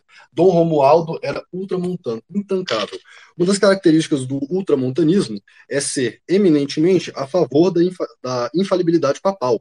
É, o Dom Romualdo, ele rejeitou aqui no Brasil a encíclica Mirare Voz do Papa Gregório XVI, ou seja, é muito, muito, muito, muito, muito, muito, muito, muito contraditório você dizer que ele era ao mesmo tempo ultramontano e também simultaneamente dizer que ele estava tava, né, é, rejeitando a encíclica Mirare Voz aqui no Brasil. Eu acabei de colocar aqui no chat do Twitter, então quem quiser conferir vai poder olhar disso daí. É, outra coisa que eu tenho a dizer, que eu coloquei aqui no, aqui no chat, uh, sobre o Frei Sampaio ser maçom ou não. Olha, novamente, revolta ao meu ponto, tá? Novamente, volta ao meu ponto. Se ele foi iniciado na maçonaria ou não, pouco importa. Aqui no chat do, do Space está aí também, uma, a folha maçônica com os iniciados. Então, eles estão comemorando Frei Sampaio, um homem que ajudou na independência, no dia do FICO, etc., coisa e tal. Então é o seguinte, se ele foi iniciado ou não, pouco importa, mas como é que é essa história? Ele vai lá dar dois discursos e não é maçom, só vira maçom na terceira? Isso aí é uma coisa um tanto quanto ridícula, para falar bem a verdade, tá? É, se ele tinha as ideias maçônicas, ele era maçom. Se foi iniciado ou não, tanto faz. Tanto faz absolutamente. Então, a ideia de que o clero ultramontano nasceu com a independência está se provando cada vez mais aí que o clero já era uh, anticatólico, que esse clero aí já estava alinhado com a maçonaria antes mesmo da independência. Dizer que Dom João VI não perseguiu a maçonaria é falso. Coloquei também aqui o decreto que ele publicou, dando pena de morte para a, pena, a, a maçonaria aqui no Brasil, e aí dizia o seguinte: a maçonaria só chegou para tirar foto no dia da independência. Bom, é, se o Frei Sampaio já ia dar discurso na maçonaria, se, uh, se Dom João VI disse que fez o decreto dizendo que a maçonaria tem que ser punida com a morte, como é que a maçonaria, sei lá, caiu de paraquedas na independência? Isso é uma ideia completamente, assim, completamente transtornada, eu não consigo entender a lógica de uma coisa dessas. É, os problemas liberais de Dom João VI foram corrigidos com Dom Pedro I. Só uma piada pensar que uma constituição que permite a liberdade religiosa seria a correção de um liberalismo. Não faz sentido algum. É, você falou o seguinte, ah, Matheus, eu fiquei surpreso que você uh, falou que Dom João VI fugiu. Como é que é isso? Uma retirada estratégica não é fuga? É claro que a, a, a mudança da capital do, de Portugal para o Brasil já estava sendo planejada há muito tempo, eu sei disso, todo mundo sabe disso, ok? Agora, foi uma fuga, obviamente. Ele combateu, ele foi para cima de, de Napoleão? Não, não foi. Ele veio o Brasil justamente para não combater. Isso é uma fuga. Agora, não quer dizer que é uma que é uma fuga de, de, de, covardia, que, nossa, ele tinha obrigação moral de ir lá peitar Napoleão. Não tinha, não tinha condição de vencer, mas assim, é uma fuga e tá tudo bem, não é que ele é menos rei por causa disso. É, dizer o seguinte: a independência foi um processo, mas ao romper com a, que a independência foi um processo. Só que quando se rompe com Dom João VI em 1825, se rompe com as tradições lusitanas, se adota uma constituição, coisa que o Estado português nunca teve, uma, uma constituição eminentemente liberal, que permite a liberdade religiosa, entre outras coisas, você só reforça o meu argumento de que se no dia 7 de setembro de 1822 a independência poderia ser justificada, depois da Vila Francada, ela, ela se provou ou um estelionato ou a partir daí virou golpe. Então aí fica a pergunta também, o Rafux, dizer que argumentar que o Brasil não era soberano antes de 22 é, e virou soberano com independência, quer me dizer assim, que vender o Brasil para os Rothschild é garantir sua própria soberania, é uma coisa assim, ah, todo país tem dívida, então ter dívida com os Rothschild tá tudo bem, e 20 milhões de libras esterlinas, ou seja, dinheiro que ninguém tem no mundo inteiro, não quer dizer que é uma venda. Quem tiver interesse, procura aí o livro é, The, The, The History of the House of the Rothschilds. Lá vai estar dito explicitamente, é um PDF de 60, 60, 60, 70 páginas, vocês encontram com bastante facilidade no, no o Archive e outras fontes desse gênero, dizia o seguinte: Dom, o, o, Brasil se tornou um estado Rothschildiano, muito mais do que todos os outros países na América. Dizer que a independência foi a independência quando você se vende para os Rothschild, intancável uma coisa dessa, não consigo engolir, realmente intancável. É, o Brasil, a independência foi um projeto ultramontano. Novamente, volta aqui, como é que foi um ultramontano com um rei um imperador, Dom Pedro I, liberal, que vai para Portugal, promoveu o liberalismo, e Dom Pedro II nem se fala que você mesmo falou que ele foi liberal. É, ou seja, um projeto ultramontano, que o, o primeiro imperador foi francamente maçom, é, derrubou o irmão, que era o rei mais católico de toda a cristandade, e o filho dele, Dom Pedro II, é, apostata publicamente na sinagoga de Jerusalém. Como é que uma coisa dessa aí? Eu não estou dizendo aqui que ele era um judeu praticante e tal, não sei o quê. Agora, se ele era ecumênico, ele aposta toda a fé católica no ritual da subida do, do, do Torá. Não gostou, não sei, faz aí o que for. É, uh, maçonaria sobre o Frei Sampaio foi isso aí.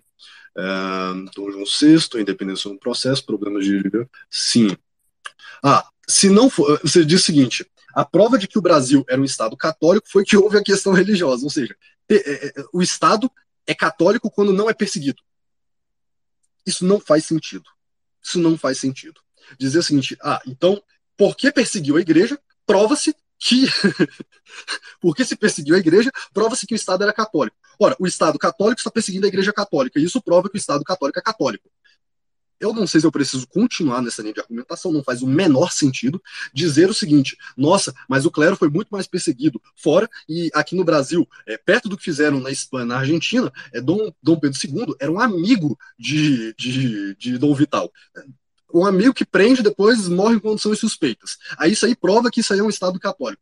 Cara, eu acho que você não entende o que é ultramontanismo, eu acho que você não sabe o que um clero conservador, um clero tradicional de verdade, o clero contra-revolucionário. Todos esses homens que você falou aí promoveram a revolução, todos os homens aí, uh, todos esses bispos, esses clérigos que você citou, estavam ligados com a maçonaria, são aplaudidos com a maçonaria, então tudo, tudo, tudo certo aí. E aí você fala o seguinte: ah, mas só perseguiram dois bispos no Brasil. Isso aí mostra a decadência da igreja no final do século do, do final do século XIX, década de 80, né?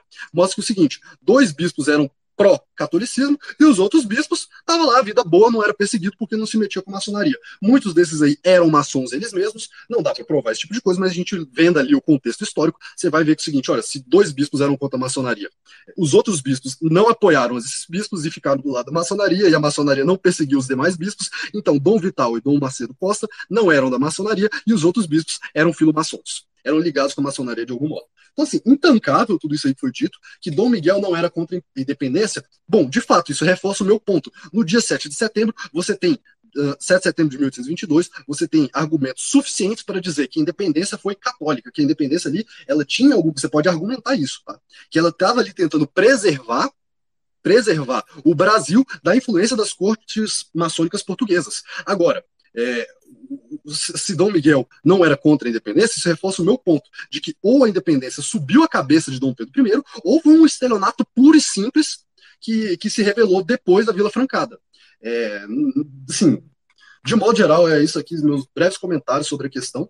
É, intancável. Termino assim minha fala. É, eu gostaria, antes de, antes de talvez o Rafux responder, é, tá é que parece que a gente está tocando em questões históricas muito ambíguas. Não, não é ambíguo. Mesmo... Eu vou. Deixa eu, deixa vou... eu comentar, Rafa, ah, você já rebate. Não, desculpa, é... Muito ambíguas no seguinte sentido: mesmo as fontes primárias sobre, sobre esse assunto, elas. Existem fontes primárias que corroboram, no meu ponto de vista, com as duas narrativas. É... E antes de vocês entrarem numa discussão se a independência foi no primeiro momento uma coisa e depois mudou, ou se foi de fato desde o início um estelionato, ou qualquer outra coisa desse tipo, eu acredito que haja, e eu acho que é o mais prudente de se pensar, é um meio termo nessa questão toda. Pode ser muito bem que tenha sido de fato um pouco das duas coisas. Você pode dizer que existia uma ala que foi majoritária até o início da, da independência do Brasil, que, que era católica, que tinha as motivações isso, católicas. Isso independência do Brasil desde sempre. Ô, Rafa, por favor, não me interrompa, cara. É que tu é mediador, não é pra debater, mas tá bom, vai lá, pode falar. É... E ao mesmo tempo, é... existia uma outra ala que ao longo do tempo se desenvolveu melhor e mudou as coisas. Mas talvez não seja um sim ou não. Ah, ou foi um estelionato, ou, ou mudou, de, sabe? Pode ser um misto das duas coisas. Agora, complementando o que eu, que eu ia falar. Sobre o Dom Romualdo, eu não, nunca vi essa, esse registro de que ele negou a encíclica Mirai. Você... Misache liberal, pode prosseguir. Brincadeira. um pouco das duas coisas, né? O, enfim, continuando. O, o, então, sobre o Dom Romualdo, eu não vi onde ele, ele onde ele nega em si, é muito pelo contrário. É, dentro das possibilidades dele, ele tentou suprimir a liberdade de imprensa e impediu várias coisas, não só do Romualdo, como diversos outros bispos. Quem tiver, como eu, o que eu citei aqui até agora, é, quem tiver inter, interesse em estudar mais sobre isso, tem dois livros muito bons. Um foi sobre um esquerdista que ele não gosta muito do império nem da igreja, que é o é, Ítalo Domingo Santi Roche, é Questão de Consciência, quem quiser achar, procure esse livro na Amazon. Um outro documento que eu gosto muito é esse aqui, ó. É, eu coloquei o título, o título, é, eu coloquei o título aqui no, que é um documento acadêmico feito por um, tem umas 400 páginas, que é Os Padres Políticos na Formação do Estado Nacional Brasileiro, onde é basicamente listinha, listinha, aqui os padres liberais, aqui os ultramontanos, você viu o que cada um fez, entendeu? E você vê que os outros montanhas foram bem mais importantes, em especial no segundo reinado. O Ítalo Santos Rocha cita essa importância da, da, da ordem do, do, segundo reinado. O, em pequena escala, o João Câmara de Oliveira também, mas o Dom Romualdo, ele, ele, qualquer pessoa que lê a biografia dele, é, vê que a relação dele com o Papa não era de negar as coisas, não. Era, era de um cara que segue ordens. É, ele trocava cartas com o Pio IX com, com, com o Gregório XVI. Sobre. É, mas também, tipo, ele não é só ele, tem muitos outros. Sobre Frei Sampaio Maçom, eu já vi essa, esse folheto aí, só que eu, eu. Quando você estuda história, você tem que pegar provas históricas, de historiadores da maçonaria. E a maioria deles fala que não, entendeu? Eu já até conheci alguns maçons, nunca entrei numa loja, Deus me livre, mas é, eles falam que Frei Sampaio não foi maçom e não tem registro desse tipo de negócio. Ah, agora, você falou as duas reuniões, que não importa porque ele participou de reuniões. Então, qual que é a reunião? Oliveira Lima nos esclarece esse assunto. Oliveira Lima nos mostra que a reunião foi o quê? Foi sobre o jornal dele, o regulador. O jornal que é o seguinte, ele defendia, como eu falei, uh, um regime constitucional, que é constitucional na forma, mas antes em regime no, no, no âmago, no, no caroço. E ele é um, fez um. Ele tinha esse, esse jornal chamado O Regulador, nesse jornal ele falava suas ideias um, com uma linguagem assim liberal, para os caras não pegar, mas com ideias conservadoras.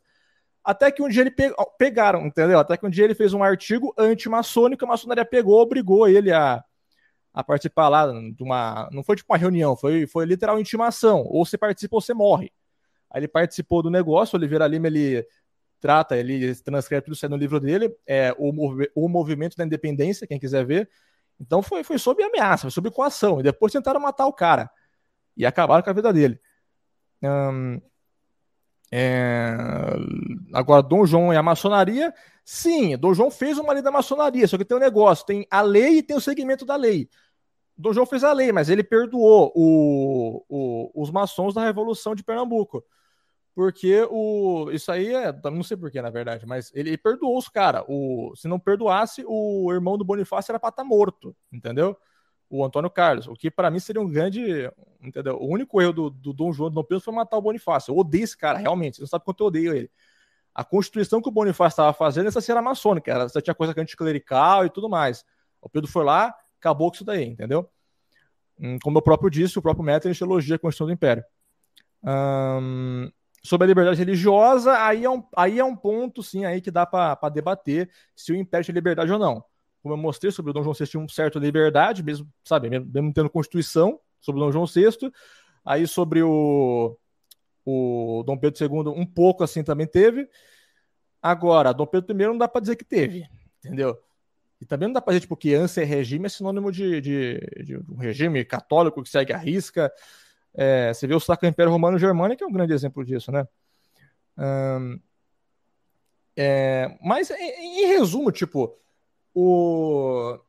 quando você é, tem a sua religião e você não pode praticar em público, normalmente você pratica ela em casa, escondido, entendeu? Então, se dizer que a pessoa não pode praticar a religião dela em público, só em privado, e dizer que não pode praticar a religião que não é católica, é quase a mesma coisa na minha humilde opinião, mas isso aí é uma interpretação pessoal minha. Agora, voltando pro, pro, pro quesito histórico. Uh, que eu, eu falei que eu ia tratar do miguelismo mais para frente, então agora eu vou tratar do miguelismo finalmente. Vamos para os finalmente. Uh, que tem tudo a ver com o que ele falou. Por que, que não reuniu duas coroas? Por quê? Eu te digo por quê. Um minuto, vou tomar uma água.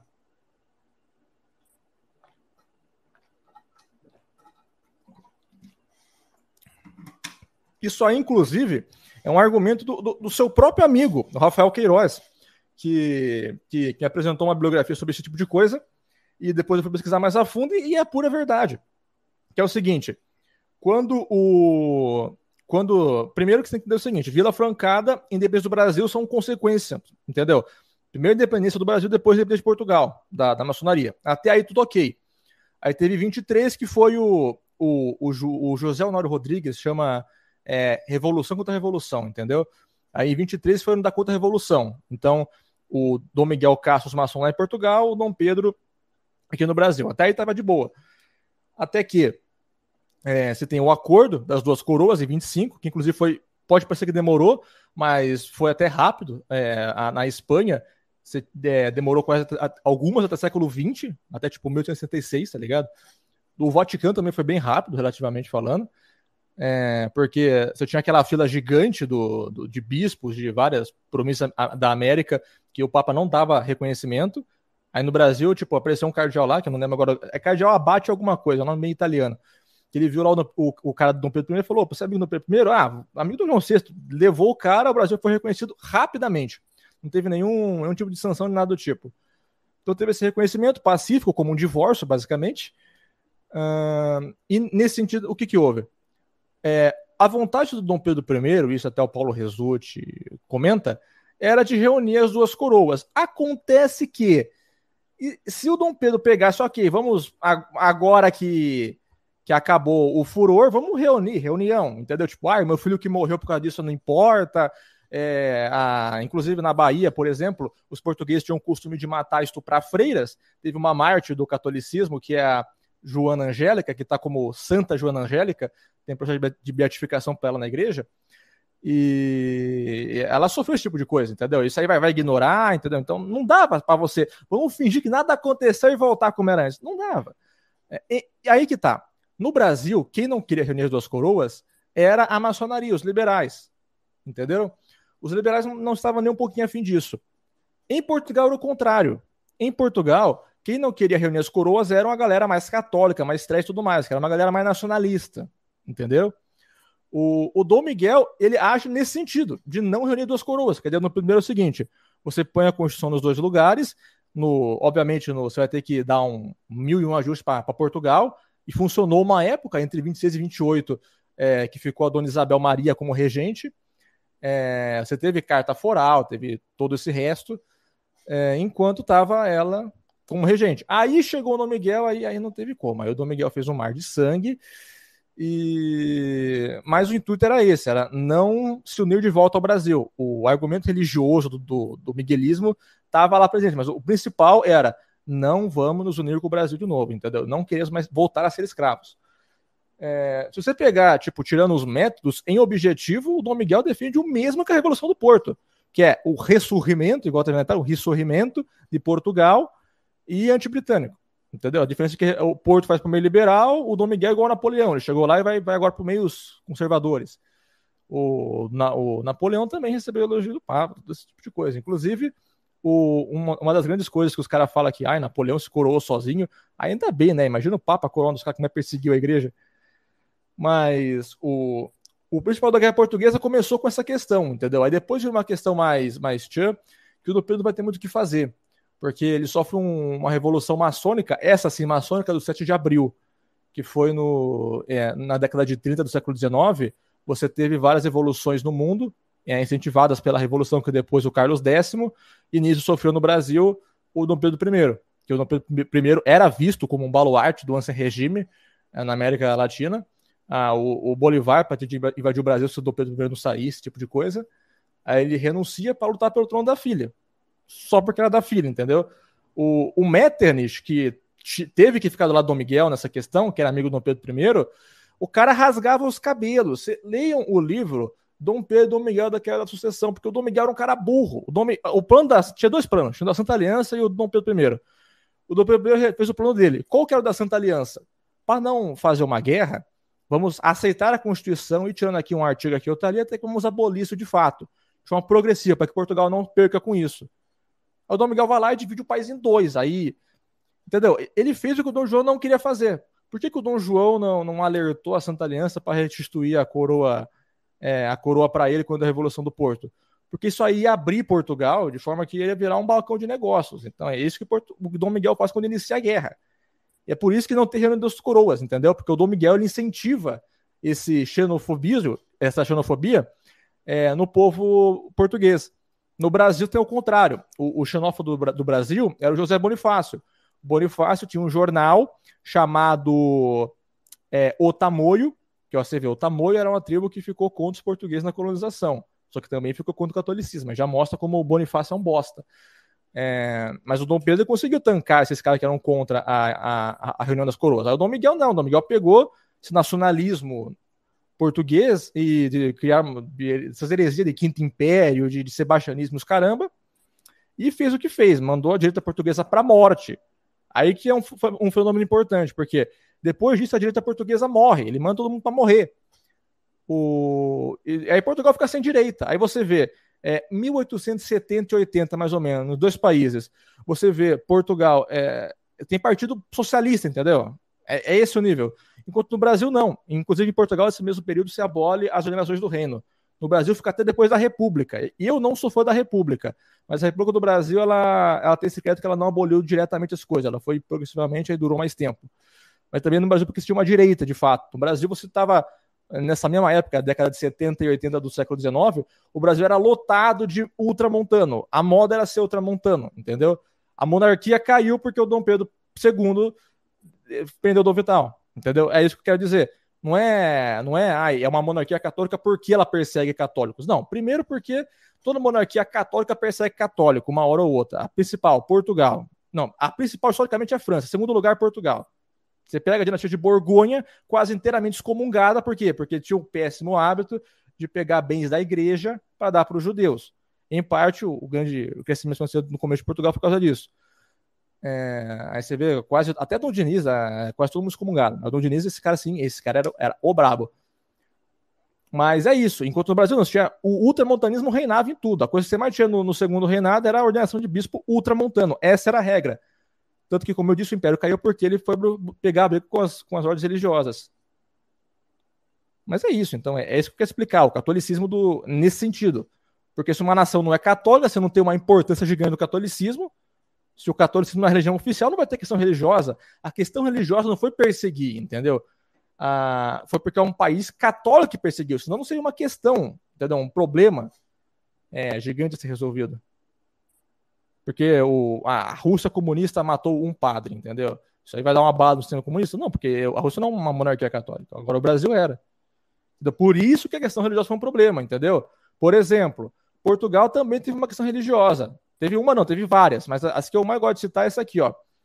É, o bispo do Porto, Martinho Rodrigues, que queria é, fazer lá uma seguir a ideia do Papa, e posteriormente ele foi morto pelo, pelo rei de Portugal. E o, o que eu citei no começo do meu documentário, que é o Gabriel Malagrida. Esse cara é o brabo. Esse cara, ele defendeu. Não, o Portugal vai ser destruído pelo anticristo. O anticristo não é nem, nem espanhol, nem moro. Ele é o relativismo, ele é o liberalismo. Leiam o que esse cara escreveu, o Gabriel Malagrida. E ele, é, do Brasil aqui, ele foi morto por Pombal, entendeu? Então, isso é, uma, isso é um problema, entendeu, com a igreja, porque só países que são católicos têm problema com a igreja. Não tem como um país protestante ter problema com a igreja. Ele é protestante. É essa coisa básica que tem que explicar. Uh, deixa eu ver se ficou alguma coisa. Um, ah, lembrei. Pra, é, se vocês forem ler os livros que eu citei sobre o ultramontanismo no Brasil, vocês vão ver que o principal foco é, era o que eu falei no começo, que era você fazer a missão do Brasil desde 1500, que é implantar o Concílio de Trento, entendeu? Uh, o Dom Pedro II ele tem, tem esse, esse lance gay dele de, de, democracia dos caralho, mas ele, pelo menos, ele, ele tirando o Dom Vital, não perseguiu mais ninguém, entendeu? Ele dava liberdade tanto para os caras cringe gay, que falava merda de coisa sagrada, mas também dava liberdade para o, os ultramontanos refutarem e dava o principal que é dar cargos e meios financeiros para esses caras conseguirem bancar o movimento de reforma dele. O principal, que eu mais gosto, que vocês veem isso na. Procure depois um PDF chamado é, Dom Romualdo Antônio de Seixas e a Reforma da Igreja na Bahia. Que isso aí, é, é, é esse é um dos, dos, melhores exemplos do porquê o Império nasce com a reforma ultramontana, entendeu? O, o Império nasce como uma contra-reforma à, à reforma protestante, é, o Brasil nasce em 1500, e o Império nasce com uma reforma ultramontana. O, o Dom Romualdo, ele pegou para ele esse, essa cruz de. Alguém. Só uma pergunta, tá? É Dom Romualdo de Seixas que você tá falando ou Dom Romualdo de é, Coelho? Então, o de Seixas era o, era o brabo. O, o Coelho também era, era legalzinho, mas é, mais ou menos, sabe? Não era tão ultramontano. O, o Dom Romualdo Antônio de Seixas, ele tem a biografia dele, que é Memórias do Marquês de Santa Cruz, que é tipo, o Marquês é um dos top títulos nobiliárquicos e ele é um dos caras ultramontanos do Império. E ele, ele pegou como a meta da vida dele, procura esse PDF depois, que é Dom Romualdo e a Reforma na Igreja da Bahia, que é o seguinte, eu, Dom Romualdo, e tipo, os dois é parente, é, o Zosa Coelho, ele também participou da independência, que ele é tipo, ele é tio do Dom Romualdo Antônio de Seixas. Só que esse aí, o Dom Romualdo, ele pegou como, como missão para ele o seguinte: eu vou consertar a cagada que o Pombal fez na educação, que é o quê? Seminário de Olinda. Lá era o antro do iluminismo. Tudo de mal saiu dali, entendeu? Confederação do Equador, tudo, tudo. Padre Feijó, tudo que você puder que saiu de mal do Império saiu dali, entendeu? Ele pegou, eu vou pegar isso aqui, eu vou considerar esse negócio. Em parte, a quantidade de vezes que o Nordeste se rebelou, sabe, contra o Império em revoltas maçônicas, meio que os maçons morreram todos, tá ligado? Frei Caneca morreu tudo, meio que ficou um terreno limpo para ele, ele fazer a reforma dele. E ficou um negócio fantástico. Não à toa, de onde que é Dom Vital e Dom Macedo Costa, Nordeste. Então, assim como nos Estados Unidos você tinha esse lance de estados que votam mais republicanos e mais democratas, no Brasil em tinham estados mais ultramontanos e que tinham essa, essa tradição ultramontana. No caso do Brasil Império, que construiu foi o Nordeste. Mas é isso. Estudem os livros que eu falei, que são fontes que são pouquíssimas divulgadas no meio. Não tenho mais o que falar, não. Posso falar brevemente, aí o Misashi abre para perguntas dele Perfeito. e os demais? Tá, só vou colocar o fone aqui um minutinho.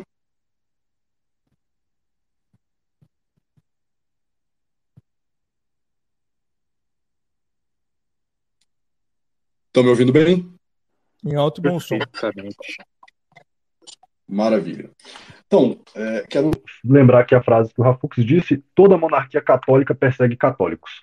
Eu gostaria de ver alguém do tipo mostrar São Luís IX é, perseguir algum católico. É, toda monarquia católica persegue católicos. Rafux. É impossível concordar com uma coisa dessa. Eu perguntei aqui, para deixar bem claro, se foi Dom Romualdo de Seixas que o Rafux estava falando, que era ultramontano. Aí aqui, palavras do Rafux.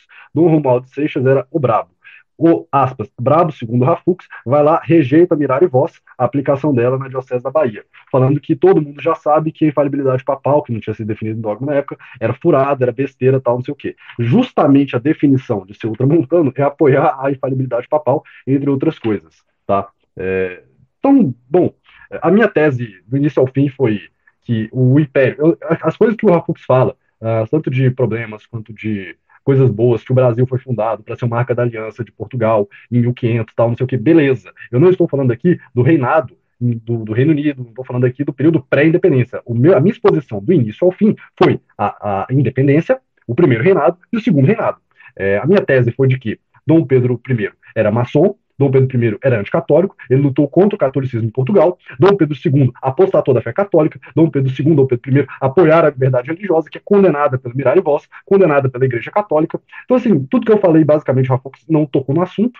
É, várias coisas assim, tergiversou, passou para frente. A minha tese é muito, muito simples. Esse império não foi católico, esse império foi liberal, e, portanto, um católico como eu não podemos apoiar o Império Brasileiro. Se você é católico, você tem que saber. Ah, claro que o Império foi melhor que a República, antes que alguém venha me chamar de republicano aqui, que é uma mentira, eu não sou republicano, tá? O Império foi melhor que a República, sim, mas ainda assim foi um império muito porcaria, um império que eu estou falando aqui do ponto de estritamente religioso, estritamente é, filosófico-moral, tá? Um império anticatólico, liberal, todo mundo aí era contra contra o catolicismo no primeiro reinado, segundo reinado, isso aí não foi falado, não foi falado de modo algum, é exatamente isso. É, Misashi, quer falar alguma coisa? É, não, não. Você terminou ou você ainda vai? Ah, agora já compartilho as conclusões finais, né? Acho que está exposto aí para todo mundo. Eu publiquei aqui no chat as minhas fontes. Quem quiser mais alguma coisa, me segue. YouTube, tudo aí. Opa, bom, Bem, pode colocar eu gostaria de fazer agora. algumas considerações, ah, e tá. são umas considerações que eu quero que depois os dois é, me vão me respondendo nela, né? Não são bem perguntas, mas são, mais certas questões que acho que seria interessante que os dois me respondessem, né? É, bem, a gente está aqui numa discussão onde ambos os lados são é, católicos. Eu não vou entrar em questões de posição perante a crise na igreja, porque eu acho que numa discussão política como essa, é, isso não é relevante. Eu conheço tanto pessoas que são, por exemplo, da Fraternidade Sacerdotal São Pio X, que são desde pedristas a miguelistas, e do contrário também conservacantistas, eu conheço pessoas em ambas as posições. É, o, o, o, ponto que eu queria chegar é o seguinte: é que a nossa discussão eu não sei se vocês vão concordar comigo ou não, mas esse é meu ponto de vista. Até porque eu tenho uma visão mais neutra sobre esse assunto. Claro, preciso me aprofundar mais, estudar mais, mas no tanto que hoje eu, eu estudei, sabe, do que eu ouvi pessoas é, discutindo essa questão, eu realmente fico tentado por argumentos de ambos os lados. Mas o ponto que eu quero trazer aqui é de que essa seria uma discussão mais de interpretação de narrativa histórica do que em si de discordâncias em pontos políticos. No seguinte sentido, eu estava até discutindo com o Larsan, porque é, em determinado momento ele acusou, isso não agora, né, o Rafux de, de, de ter posições liberais, por causa da, da, da, posição dele em relação a esse assunto, certo? É, eu não vejo dessa forma eu acho que a gente deveria tratar essa discussão muito mais como nós partimos das mesmas premissas e quais premissas? Bem, as premissas de uma visão é, tradicional sobre a política, uma visão tradicional católica sobre a política e tem como fim último o reinado social de nosso Senhor Jesus Cristo e a doutrina social da Igreja, certo? É, só que a partir dessas premissas, vocês chegam a conclusões sobre a interpretação de um evento histórico que são diferentes. Eu não estou dizendo que as duas são válidas. É claro que se você tem as mesmas premissas e chega a conclusões diferentes, há algo de errado em alguma das conclusões. É... Mas eu, eu, eu, eu gostaria de saber de vocês se vocês não conseguem enxergar dessa mesma forma que eu, certo? Que é muito mais uma discordância no sentido de interpretação histórica e eu não estou tirando o mérito da questão, porque a história é um fator muito importante. É, o entendimento que você tem da história muda coisas mesmo no presente, certo? Mas, ao mesmo tempo, é, e, e tirando esse aspecto, eu também não vejo como essa diferença de interpretação histórica mudaria significativamente a nossa atuação política hoje. E eu digo em que sentido? Bem, é, vocês têm posições contrárias. O Rafux ele faz parte. Eu, eu não tenho certeza se o Rafux é, só ajuda ou, ou, se ele faz parte oficialmente da ação orleanista, né? Mas é não faço parte de nenhum movimento, nenhuma ação política, negão. Nada. Eu sou um intelectual mas... comprometido com a verdade somente. Mas intelectualmente falando, você segue não, eu, não, essa eu, linha? Eu não, sei, eu, eu, não sei o que eles pensam, eu não vejo vídeos no YouTube de mais de uma hora. Eu só uso o YouTube para ver Everson Zóio. É isso. Entendi. Mas o que eu tô querendo dizer é o seguinte, por exemplo, eu acho que mesmo no, quando a gente assume a visão histórica miguelista sobre esse aspecto, eu não acho que isso tenha grandes mudanças na nossa atuação política hoje. Mesmo, por exemplo, se o Brasil e Portugal ao mesmo tempo deu a louca no mundo, só, os países se convertem novamente e a partir disso sobem regimes católicos que, que estabelecem a doutrina social da Igreja Católica no governo, no, no governo de ambos os países. É, não necessariamente, mesmo se você assumir que a independência foi sim um erro histórico e que Dom Miguel estava sim correto, mesmo que se a gente assumisse mérito, não necessariamente os dois países precisariam se reunir hoje. Não estou dizendo que eu seria contra também se houvesse essa. Eu só estou dizendo uma discussão que eu já fiz com o Rafux também. O Rafux até zoou. Ah, não sei o que, quem é católico tem que ser monarquista igual eu. Bem, não necessariamente quem é católico tem que defender, idealmente, a, como fim último da política, o reinado social de nosso Senhor Jesus Cristo e a doutrina social da Igreja Católica. Correto? É, a questão é que é, a, a, Igreja declara e a Igreja também assume a, a, a, definição política de governos né, de São Tomás de Aquino, que ele pega de Aristóteles, né, que você tem a monarquia, a, a, aristocracia, a república e a, e a, degeneração delas, né, que seria a democracia, a oligarquia e a tirania. E claro, a monarquia ela é privilegiada, ela é a forma mais perfeita de governo, porém o, acho que vai fugir do tema e creio que tanto eu quanto a Fux. Não, não, não, eu não, eu não vou fugir, você já vão entender, você já vão entender o que eu vou fechar. Você já vão entender o que eu vou fechar. O é... é o Vilela, tem interesse no TDA, entendeu? Ele vai falar todo mundo, velho. Ele não, não consegue fazer pergunta, tem que falar para dar a opinião o, dele. O ponto, não, não, o ponto que eu quero, o ponto que eu quero chegar, eu quero, eita, eu quero, eu quero ver se, se vocês acham esse meu entendimento possível. É, não, é que não. a discordância de vocês nesse assunto não afetaria drástica, tipo, drasticamente no sentido de vocês. Vocês só se opõem em um ponto em uma discussão de uma interpretação histórica. Mas que isso fora desse escopo não teria, não sentiria grandes diferenças na, em ambas as visões, entende? É só isso que eu, que eu queria considerar e ver se vocês não acham que isso é possível ou se vocês discordam de mim. Só, só uma dúvida. é, eu tava lendo aqui a fonte que o, que o, que o Matheus mandou, e na fonte fala que o, que o Dom Romualdo ele foi a favor da lei do Clemente Pereira para regular a liberdade religiosa. Porque, inclusive, quem tiver interesse, leiam. É bem estranho que isso aí não cita em nenhuma coisa. Porque em ciclas, no máximo que eu vi foi tipo é, segurar um pouquinho para depois escutar. O, se você pegar, mirar e voz, tipo de coisa, é, tanto o Dom Romualdo contra o quanto o, o Marco Antônio de Souza, todos esses caras, vocês podem ver, seguindo esse negócio à risca. É, eu tô tentando caçar umas biografias dos caras. É, eu vou. Tem outros amigos meus da, da página que eu falei, que é Rabis e Braga, I com Y, Rabis, H-A-B-S, I, no caso Y, que é o I, e Braga é Braga, é B-R-A-G-A. É uma página do Twitter, tem coisas católicas do Império. Eu vou, se eu achar mais biografia de gente de lá, eu mando para lá. É isso. Mas é isso. Eu posso fazer minha conclusão final? Aí a gente encerra o negócio, já que ele começou, eu termino? É, bom, tem que responder o Misache ainda, né? Você quer responder? o que, que, ele perguntou? O que, que ele perguntou? Ele perguntou eu tava, eu, fiz, eu, eu, eu, fiz uma considera eu fiz uma consideração sobre a discussão e eu gostaria de, de saber da parte de vocês se é, é possível ter esse entendimento de que a gente está no mesmo campo, certo? No mesmo campo de, de ação política.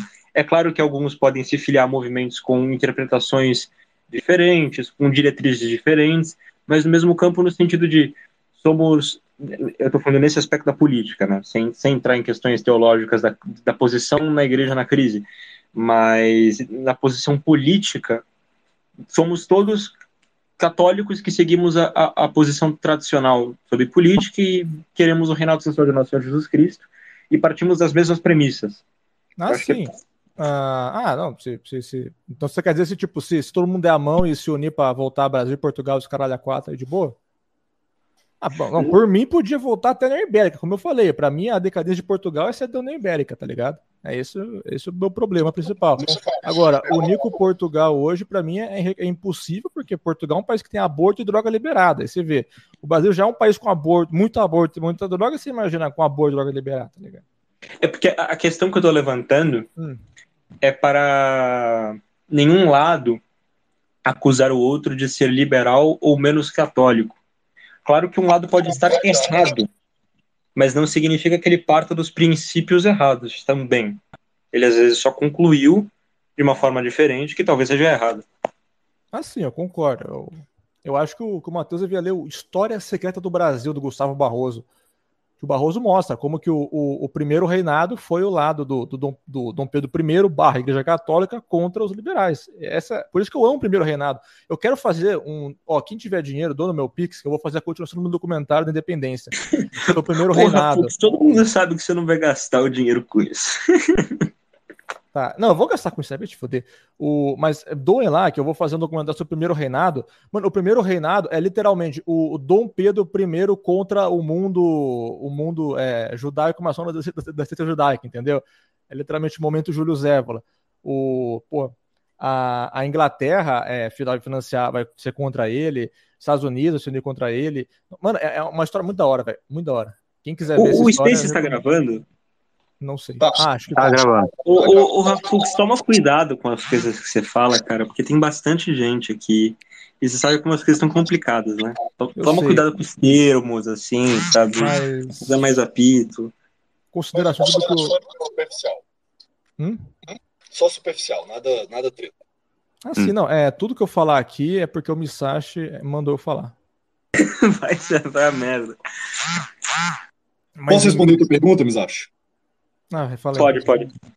Então, o Misashi perguntou se é, a discordância que eu tenho com o Rafux uh, não é meramente de uma interpretação em cima dos mesmos fatos e se não seria inconveniente da minha parte chamar o, liberal, o Rafux de liberal, movimentos aí contrários de liberal, ou até que, se eu tiver certo ou se o Rafux estiver certo, na prática da prática, porque nós dois somos monarquistas, é, isso não, não, não alteraria nada na luta política presente e atual, tá? Respondendo a pergunta, sim, eu acho que o Rafux é liberal, uh, eu acho que eu tenho sim os meus motivos para pensar isso, porque eu expus aqui todo o liberalismo dele, todo o liberalismo do, do primeiro reinado, do segundo reinado, não falou nada sobre o tema, não disse aí que Dom Pedro I e Dom Pedro II eram ultracatólicos, falou aqui que o pessoal era ultramontano e não era, então acho sim que não dá para falar que é liberal.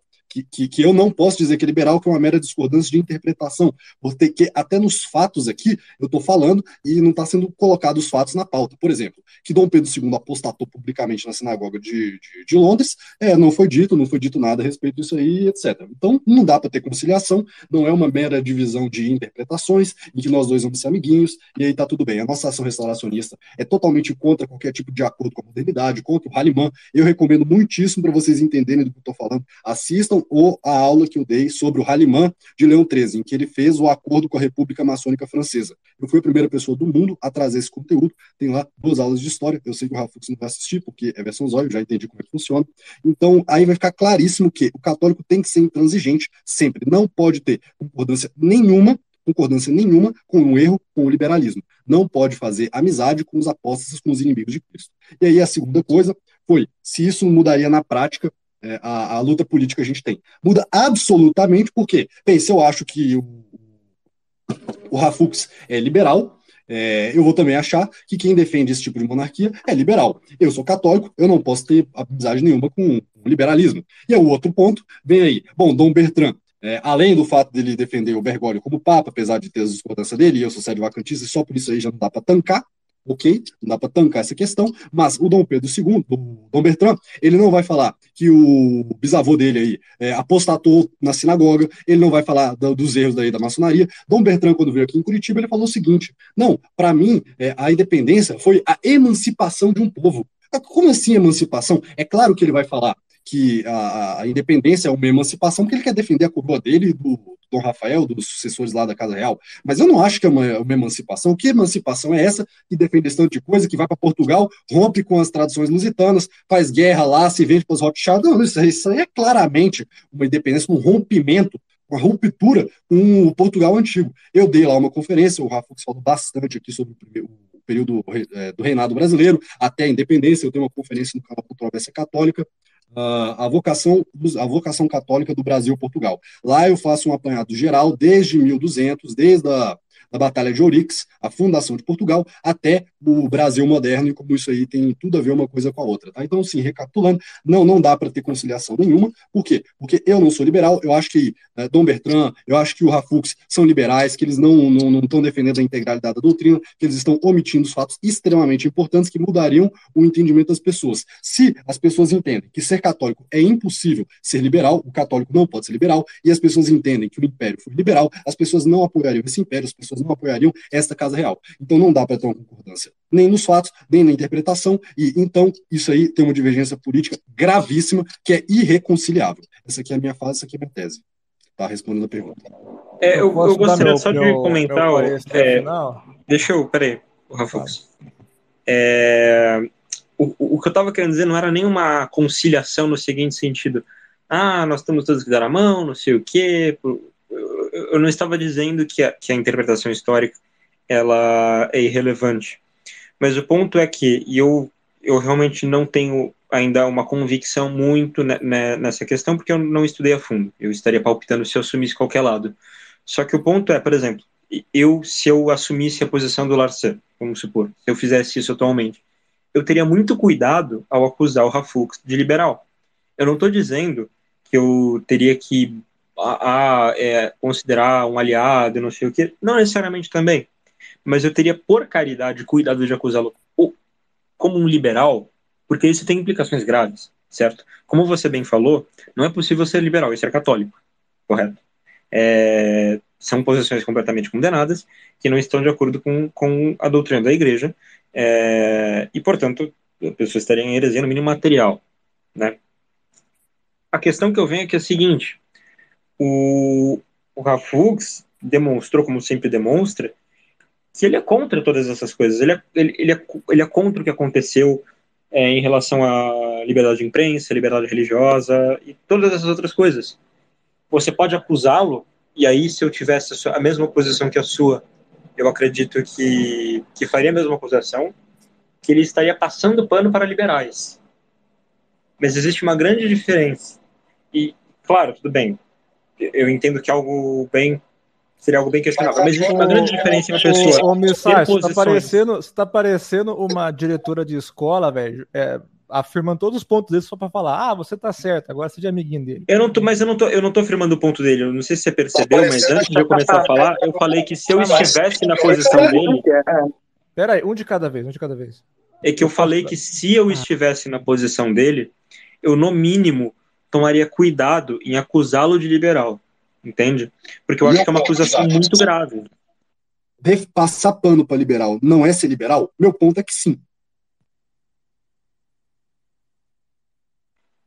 Por exemplo, Raflux, você defende a liberdade de imprensa? Raflux. Inquisição. Caiu Rafux. Você, você defende a liberdade de imprensa? Rafux caiu. Bom, Rafux caiu. Já que ele caiu, eu vou falar mais uma coisinha aqui enquanto ele, enquanto ele retorna, tá? Hoje, no nosso grupo de estudos, a gente fez a, a leitura da encíclica do Papa São Pio X, Papa contra o Modernismo, Notre Charge Apostolique. E lá ele fala de modo claro e explícito. O primeiro mandamento da caridade não é tolerar o erro. O primeiro mandamento da caridade é falar que o seu oponente está no erro e tentar trazê-lo para a verdade. Então, quando eu digo aqui que o Rafa está sendo liberal, eu estou querendo que ele se converta e eu digo aqui para ele e para todos os demais presentes.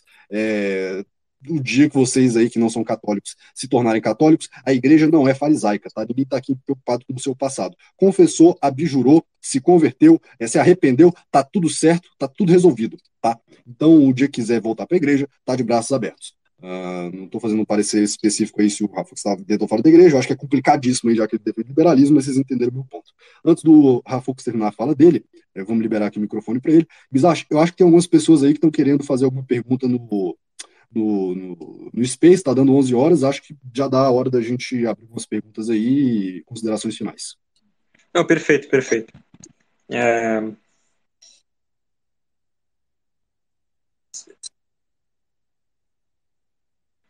O Reflux tem que pegar o orador de novo, ele tá como ouvinte. Já abriu. Mas o que eu ia perguntar para ele não é uma estratégia retórica. É só que eu tenho a, a visão de que é o seguinte: é, é muito importante ver os princípios e as premissas que ele parte. Porque, por exemplo, se ele partisse dos princípios de que não, realmente eu defendo a independência dessas coisas porque eu acho que não tem problema a, a, o, a liberdade religiosa, a liberdade de imprensa e todas Alô? essas coisas, Posso...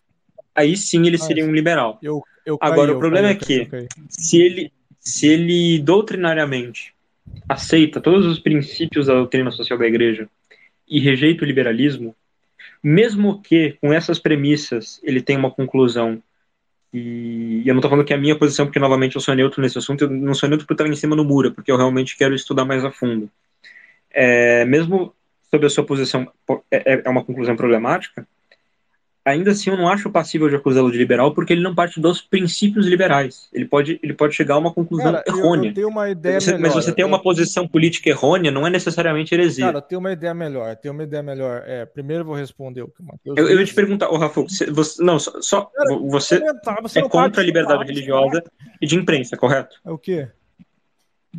Você é contra a liberdade religiosa de imprensa, correto? Claro que eu sou. Você é contra, então você é contra todos os princípios do liberalismo e defende a doutrina social da igreja. Então, aí vai ver com o final do, do que eu vou comentar. Só me dá um segundo.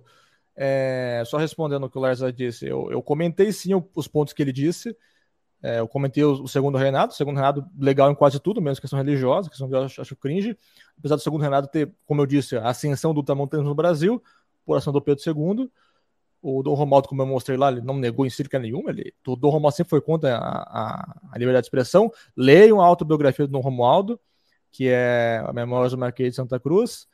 Sobre o Dom Pedro I, é, então, eu expliquei. Ele, você pode dizer, no máximo, que ele foi liberal em Portugal. Como eu disse, tem esse, esse contraponto. O Dom João foi liberal no Brasil e conservador em Portugal. Dom Pedro I, conservador no Brasil e liberal em Portugal. O, mas o, o, o, primeiro reinado foi o reinado em que o Dom Pedro lutou contra a maçonaria, contra o protestantismo, contra tudo que se pensar de ruim. É, Para quem quiser saber sobre o primeiro reinado, leiam História Secreta do Brasil do Gustavo Barroso. Eu vou fazer um documentário, vou me basear bem nele. Esse livro ele mostra como o, o Dom Pedro I foi o literal herói da América, entendeu? O cara peitou Bolivar, San Martín, tudo ao mesmo tempo. Pra mim, ele é um cara que eu respeito. Mas é isso. O primeiro reinado foi base. O primeiro reinado é o, é o, o monarca contra a, as forças secretas que querem o, o, fim do mundo, basicamente. Mas uh, agora, para a questão final, queria perguntar para o Matheus o que, que é liberalismo. a raiz do liberalismo é o voluntarismo. Então, o liberalismo ele nasce da convivência pacífica entre protestantes e católicos, porque depois ali das guerras religiosas do século XVI, é, chegou-se ali à conclusão, não, não, vamos, vamos meter panos quentes nesse negócio, que aí, bem, a gente tem que conviver aqui pacificamente com o nosso irmão. E quanto mais você passa o tempo convivendo com uma religião oposta, você vai acabando aceitando que é normal as pessoas terem religiões diferentes. Então, o liberalismo, a fonte dele é o voluntarismo, o contratualismo, ou seja, cada um pode escolher para si o que é melhor para o seu próprio bem, para encontrar tal. Isso é contrário à doutrina católica, porque a doutrina católica é muito clara no que, que é o bem. O bem é o catolicismo, o que não é catolicismo é mal. Acabou. Então, é, isso aí é o liberalismo, e, bem, quando você abre espaço para coisas falsas uh, serem empregadas na sociedade, você está sendo liberal. Simples assim. É que tem, tipo, autores como Bossuet, que a galera considera liberal, não liberal, mas iluminista, e ele defende essas coisas que você falou, cara. Bossuet está acima da Mirar Voz? Eu não sei, eu só sei que ah, você deu uma, uma descrição de liberal para mim. Aí eu pego um cara que é um iluminista que não tem essa descrição, entendeu? Acho que você deveria ter uma descrição mais abrangente, cara. Ler um, um John Locke, esse tipo de coisa. O. Vou falar mais uma coisa. Peraí, peraí, você deveria ler John Locke para o liberalismo? Não, não, acho que você tem que ler autores liberais para ter liberalismo, cara. Você não acha? Bom, então eu não preciso aprender o que é liberalismo. Uh, não, você tem que aprender, eu estou dando o contrário, você tem que aprender, você tem que ler os autores dos caras. Não preciso ler a doutrina católica. Tá? Precisa, eu, precisa, tem que ler os dois. Eu não consigo, ok, através você somente do magistério, dois, eu não consigo descobrir o que é liberalismo. Você está me dizendo isso. Você está me recomendando ler livros que estão no Index. Você está me recomendando o Index. Isso, Rafa. Ah, não, aí é outro papo que eu e o Missage teve essa porra de que o Index é válido ainda hoje, você tipo, tem que criticar um livro sem ler, isso aí eu tive esse papo com o Missage porque o, porra, a igreja é, é recheada de refutação dessas heresias, só que você não pode ler heresia porque tá no índex. Então, como que tem refutação? É, é, complicado essa porra desse assunto. O, mas, cara, você tem que ler o bagulho pra saber. Ah, e sobre o que, o que tu falou antes, que tu falou, ó, oh, marque essa frase, o Rafuk disse que monarquia persegue catolicismo. Não, mas persegue. A França perseguiu os católicos, não a França de, Luís, de São Luís. Mas você pega o reino da França perseguiu. Não estou dizendo a França de São Luís. Só para deixar isso bem claro. Sim, o galicanismo surgiu na França, lógico. Exatamente. Então é isso que eu estou dizendo. Monarquias ditas católicas perseguiram a igreja. Ou monarcas passaram pano para esse tipo de coisa ao perseguir a igreja, elas não eram católicas. No ato da perseguição, não era católico. Por mais que formalmente, nominalmente, se declarassem católicos, naquele ato em específico não fosse. Perfeito. Então, então, o Império do Brasil era católico, menos quando ele fez a, a questão religiosa. Quando ele, tipo, entre, entre ele ficou preso, ele prendeu, aí não é mais, aí depois volta. Felipe, Felipe Belo prendeu o Papa Bonifácio VIII num ato flagrante de calicanismo, de perseguição à Igreja Católica. Você vai me dizer que este fato constitui, é, é, é, que esse fato é católico? Você vai me dizer que isso aí não, mostra que Felipe Belo era revolucionário? É claro que é revolucionário. O que isso tem a ver com o que eu disse? Eu estou dizendo, tipo, você disse que em um ato que ele está fazendo revolucionário, isso aí não é católico, mas depois volta a ser. Então, o Império ele era católico, mas na questão religiosa, enquanto Dom Vital ficou preso até a soltura dele, não era católico, depois voltou a ser. Intancável. Não, segundo o que você disse, é, cara. Não, o ato que em que a monarquia não. para. Então, tipo, se não por... Tipo, ela volta a ser católica depois que ela faz o ato revolucionário? Cara, eu não sei de onde tu tá tirando isso, velho. Eu tô dizendo assim que o espírito dele não é católico, ponto, acabou. Tanto que os frutos mostram que a árvore é. Se os frutos foram a perseguição, então o espírito, não. a árvore, não era católica. Simples, Rafa. Mas os frutos do, do segundo reinado não foi perseguição, foi o contrário. Você prendeu um bispo, em consequência acabou a monarquia, porque o poder dos bispos era tamanho que, que não tinha o que fazer.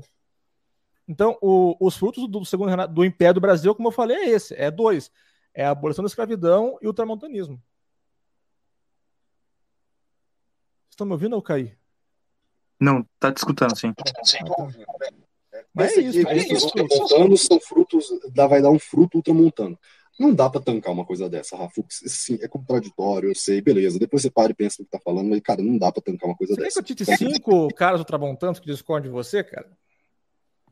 Caras ultramontanos que defenderam que prender Dom Vital e Dom Marcelo. Não, eles foram contra, eles foram contra também. Por isso que soltou. Entendeu? Os caras falaram, não vai perder esses caras, soltou. Bom, isso aí não prova que Dom Pedro não tinha um espírito católico a ponto de perseguir os bispos? Então, Dom Pedro II, em religião, ele era cringe. Liberal. Liberal, não. Dom Pedro II ele tinha pensamento liberal. Acontece que, em política, ele fez uma atitude que prejudicou a igreja, uma não, umas, vamos lá considerar também outras coisas, mas no geral não, não foi tão ruim assim. Exemplo, nomeação de bispo ultramontano.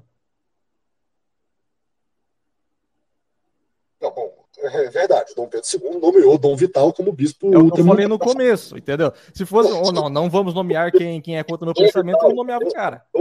Dom Pedro, II nomeou o Dom Vital como bispo e o Dom Vital era bispo ultramontano. Isso é verdade. O fato é que Dom Pedro II não sabia que ele era ultramontano, por isso que Não, ele foi. como que ele não sabia? Tipo, Claro que não sabia, porque depois eh, Dom Vital falou: pelo amor de Deus, eu não quero ser bispo. Aí, quando ele virou bispo, ele começa a perseguir maçonaria, a maçonaria começa a perseguir Dom Vital, e aí Dom Pedro fica do lado do Dom Vital. Porque se Dom, se Dom Pedro soubesse que ele não era contra, eh, ele não tinha indicado para início de conversa. Dom Vital foi ordenado bispo, E sagrado todos, bispo, ele com 27 todos os outros, todos os outros, tipo, tudo, tudo, tudo, tudo, tudo. Isso aí, bom, tá vendo, Mizar? Isso aí é passar pano para liberalismo, cara. Pô, quem passa pano para liberal é liberal, cara. Não tem como de Não, conciliar. mas tipo, tipo, o Carlos X, no final da vida dele, ele, ele, ele passou um pano. Não, vamos lá.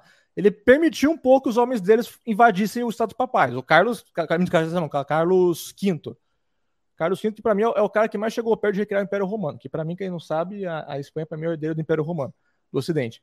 O cara, no final da vida dele, fez umas coisas lá absurdas com o Papa. Isso, tipo, anula todo o resto que ele fez, mesmo que se arrependeu depois. Cara, é o espírito que eu tô falando. Se vai anular ou não, você vai ter que fazer uma análise muito concreta tal. Aí você jogar aqui Carlos V tal, no final do nosso, do nosso podcast, falar, será que o, o reinado de Carlos V era católico? Não. Foi uma atitude francamente anticatólica e revolucionária. Acabou, cara. Mas, tipo, isso anula todo o resto que ele fez em favor da igreja? Não anula, mas, tipo, é uma posição cringe, não dá pra negar, entendeu? Eu não acho que é tão preto que e o branco meu assim, ponto é que eu sou contra o Império Pedrista por conta da questão religiosa. Se fosse somente a questão religiosa, eu até poderia dizer, mas é o somatório de tudo. É o fato dele apostatar publicamente, é o fato dele defender a liberdade de imprensa, defender a liberdade religiosa, né, de ir contra Dom Miguel, de negarem lá a migalha de voz. É tudo isso, Rafux. Mas assim, acho que daqui não vai somar muito. Eu sugiro fortemente, já que ficou claro o que, o Rafux pensa, que eu penso, a gente abrir para pergunta do público aqui, tem umas pessoas. Ah, umas pessoas. Perfeito. É, ô, Misashi, vai pegando as perguntas que eu vou pegar um copo de água, perfeito? Da minha parte, ok.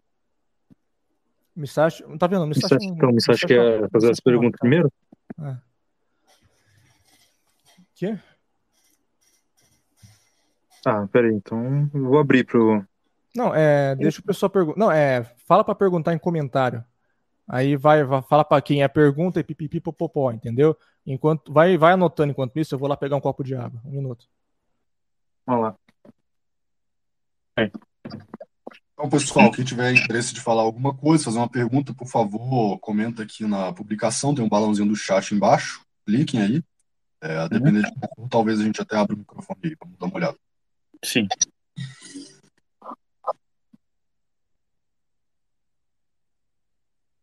Se a gente for abrir para microfone, limitar aqui a 60 segundos para fazer a pergunta, tá? Para o cara não pegar demais aqui e a gente concluir hoje ainda. Tá.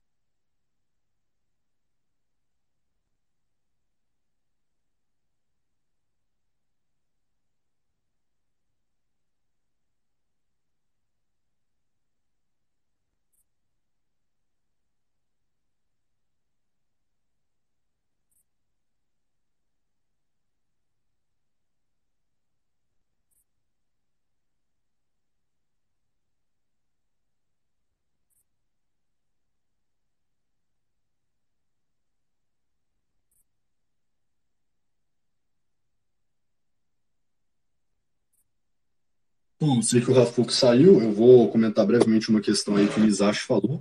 É, não vai ser contra o Rafux, não acho que tem nenhum problema, tá? Sobre o católico, ele precisa necessariamente ser monarquista para ser católico? O Rafux volta? Não. O católico não precisa ser necessariamente monarquista, apesar da igreja dizer fortemente que é bem recomendável que seja monarquista. Claro, existem repúblicas católicas? Existem, exemplo, a República de Gabriel Garcia Moreno. Mas é muito difícil uma república ser católica. A igreja, em teoria, não é contra a democracia, mas é aquela democracia ateniense, aquela democracia aristotélica. Uh, agora, a democracia social liberal moderna, essa aí está condenada num milhão de encíclicas, não tem como, não tem como conciliar essas duas coisas, tá? Essa é a minha tese, o católico. Assim, é, é uma daquelas concessões, assim, ok. Para as pessoas não irem para o inferno, você pode até ser republicano, mas é intancável ser católico e, e republicano. Você tem que. Você, é muito recomendável que você seja monarquista.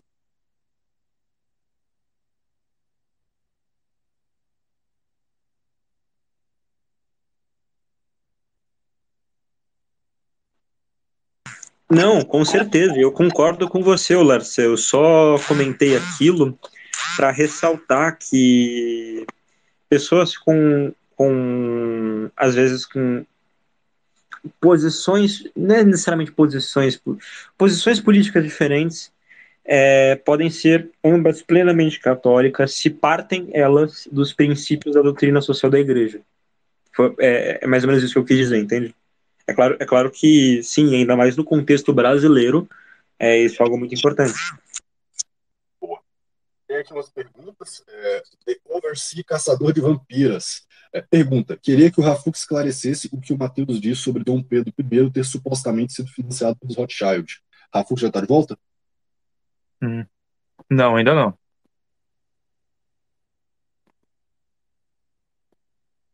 Hum, por isso que eu Temep Steve aqui de.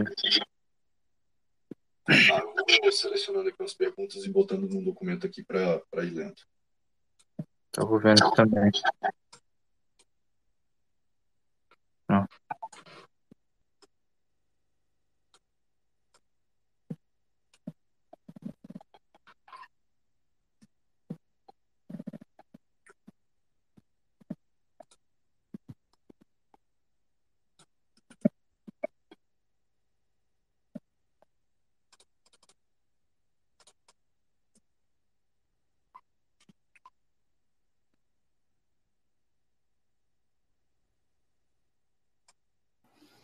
Voltei. Teve alguma novidade? Teve uma pergunta aqui. É, pergunta: queria o caçador de vampiras queria que o Rafux esclarecesse o que o Matheus disse sobre Dom Pedro I ter sido supostamente financiado pelos Rothschild. Não, não, isso aí é corpo, o quê? Não, teve, não, o, quem foi financiado foi aquele Bolivar lá, sabe? Você sabe aquele Bolivar ele traz gente britânico. O Dom Pedro I, isso aí é o forma que o Matheus tem de falar que ele pegou lá uma dívida depois para ajudar Portugal. Mas é isso. Não foi nem, nem pro Brasil, foi para Portugal essa porra. Não, beleza, peraí. O Dom Pedro I pegou os empréstimos com o Rothschild. Você não tá negando isso, né? Não tô, mas saia depois, depender depois de tudo, rapaz. Sim, para ajudar em 1825. Portugal. Em 1825, mas aconteceu. E o Dom Miguel também. Tá, mas aconteceu. Sim, os dois lados pegaram. Isso aí, como eu falei, é uma mancha que todo mundo carrega, tá ligado? Eu gostaria de ver também, mas não tava sabendo. Tá beleza. Não, o, você está ligado? Quando ele fez aqueles três estados, o que que foi? Ele reuniu os caras lá rapidão, fica com a Carlota Joaquina, com aquela herança que ela herdou lá do, do rei da Espanha, mais empréstimos monstruosos ao Chute, subornou todo mundo. Opa, estamos aqui o novo rei. Foi literalmente isso. Okay. Entendeu? Entendeu? O Paulo resulte mostra essa porra. E você tá com, com o Mickey ecoando, negão. É, vai ser punk. É... Põe fone aí, pai. Boa noite, pessoal. Gostaria de saber se, caso Dona Isabel chegasse ao trono, dado sua ligação com Leão III São João Bosco, ela conseguiria reverter as liberalidades de Pedro II. Se eu deixo para o Rafux responder, eu não entendo Com certeza. Tá? Com certeza. Primeira coisa é tirar aquela lei cringe dos conventos. Cara, vocês querem saber o, o que, que Isabel vai fazer? A mesma coisa que Pedro fez no Brasil, que é acabar com a maçonaria e perseguir o, os liberal. O, a, a vantagem da Isabel é que o Pedro II pegou o momento, o Pedro não, o Pedro I pegou o momento que aí liberal era era era moda, você tinha que se dizer liberal, se dizer não sei o quê. Então você não podia perseguir, tinha que colocar a Constituição lá para falar, opa, temos aqui, você está contra a Constituição, colocar decreto e tudo mais. Agora, a, Liber... a, Isabel, a Isabel não, ela pegou uma época que estava o quê? Renascimento das monarquias, com o Império Alemão, estava popularizando o ultramontanismo, estava no auge, com, com o Leão XIII, e Nossa, é tudo para ser o. Imagina, o, o, dom, o combate católico que o, que o Dom Pedro I fez no primeiro reinado, em favor da igreja, junto com a inteligência do Pedro II para a administração do segundo reinado. Ia ser perfeito, entendeu? Só que o problema é que a Isabel era mulher. Acho que o único defeito dela é essa, é mulher. Não é isso. É, ela ia, ela ia, ela, tipo, ela, ela ia seguir. Concordo completamente. Ela ia seguir o bagulho tramontano, mas ela ia, tipo. É, é, um bagulho econômico também, bem interessante. O, mas eu, eu, não sei. Eu não manjo de futurologia, acredito que ela era bem católica, agora se ela ia conseguir ou não, isso aí é uns 500. Minha resposta. Então, eu acho que, uh, cara, é por isso que eu, eu, não sou de nenhum lado político, tipo, nem, nem restaurar a monarquia, tá ligado? Porque eu acho que depois da Primeira Guerra Mundial a monarquia acabou no mundo, não sei quando volta. A Primeira Guerra Mundial foi a guerra para acabar com as monarquias, tá ligado? Mais algum comentário? Concordo, concordo. Eu até tenho um artigo escrito sobre isso aí. É, posso passar para a próxima pergunta? Pode.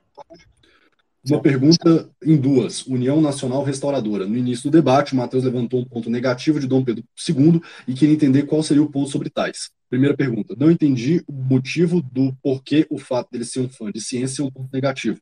Não diz que ele ser fã da ciência é um ponto negativo entendi bem o teu comentário nesse sentido.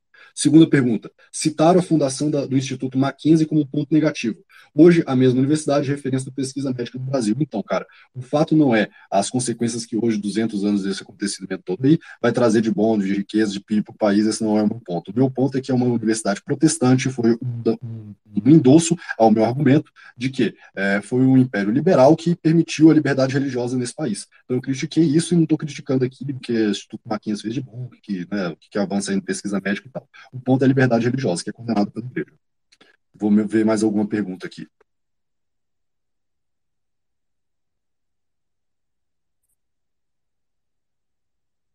Tem uma muito boa aqui do jurista tradicional, ele fez pelo YouTube. A República, se feita aos moldes de Quintino Bocaiúva, Campos Salles, Benjamin Constant, seria aprovada em sua concepção? Para o Rafux. Uh... Óbvio que não. Óbvio. Mano, nada. Mano, a República é literalmente feita por satanista. Aquele.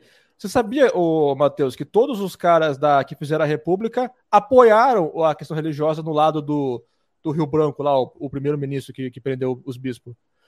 O, o, entendeu? Não tem esse, esse negócio de que a República é contra. Não, a República, o, o Saldanha Marinho falava: temos que destruir o altar e o trono. Destruíram o trono, agora o altar não conseguiram ainda, e não vão conseguir até o fim dos tempos. É, isso aí vocês podem achar no História Secreta do Brasil. Eu recomendo muito esse livro, do Gustavo Barroso.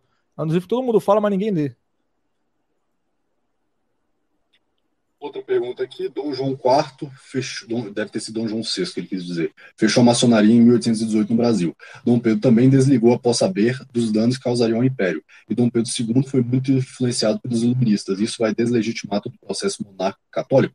Olha, primeiro eu falei aqui na minha tese que Dom Pedro I não se desligou tanto assim, que em 1825 ele construiu a Catedral Maçônica de São Luís. Isso aí tá fácil de pesquisar, você digita lá no YouTube Catedral Maçônica de São Luís. Então não houve um, é, é, tão, tão, tão rompimento tão claro assim como está sendo perguntado. Agora, se isso vai deslegitimar todo o processo monárquico católico, é, isso aí é um problema que eu vejo muito grande em alguns monarquistas, de pensar que o Brasil surgiu em 1822, o Brasil, o Brasil nasceu em 1500. A fundação do Brasil é a primeira missa na Terra de Santa Cruz. Isso aí é a fundação do Brasil. Então, sim, tudo que aconteceu antes, maravilha. É, algumas coisas boas que aconteceram durante o reinado aí, né, tem coisas boas, bacanas, interessantes isso daí. Agora, não, não era um império católico, não era um império era um império liberal e, portanto, um império revolucionário, que trabalhou para a revolução. A minha tese é de que 15 de novembro é o dia seguinte depois do 7 de setembro. É isso aí que eu penso.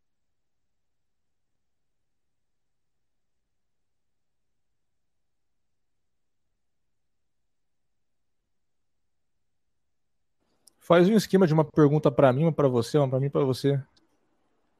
Aí vai variando. Pode ser, pode ser. Tem mais alguma pergunta aí, Hidek? Você tá vendo? O Missai, você não morreu ainda, não? Aqui.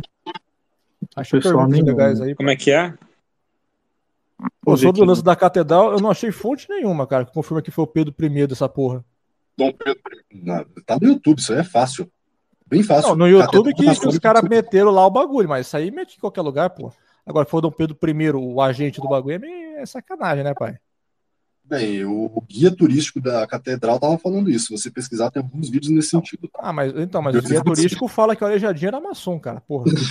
mas aí, pô, mas assim, o altar maçônico tá lá e foi reformado em 1825. Quem foi o imperador, eu não fui. né? Então, mas ele, ele, ele que ordenou, ele que é o chefe de construção, aí é complicado.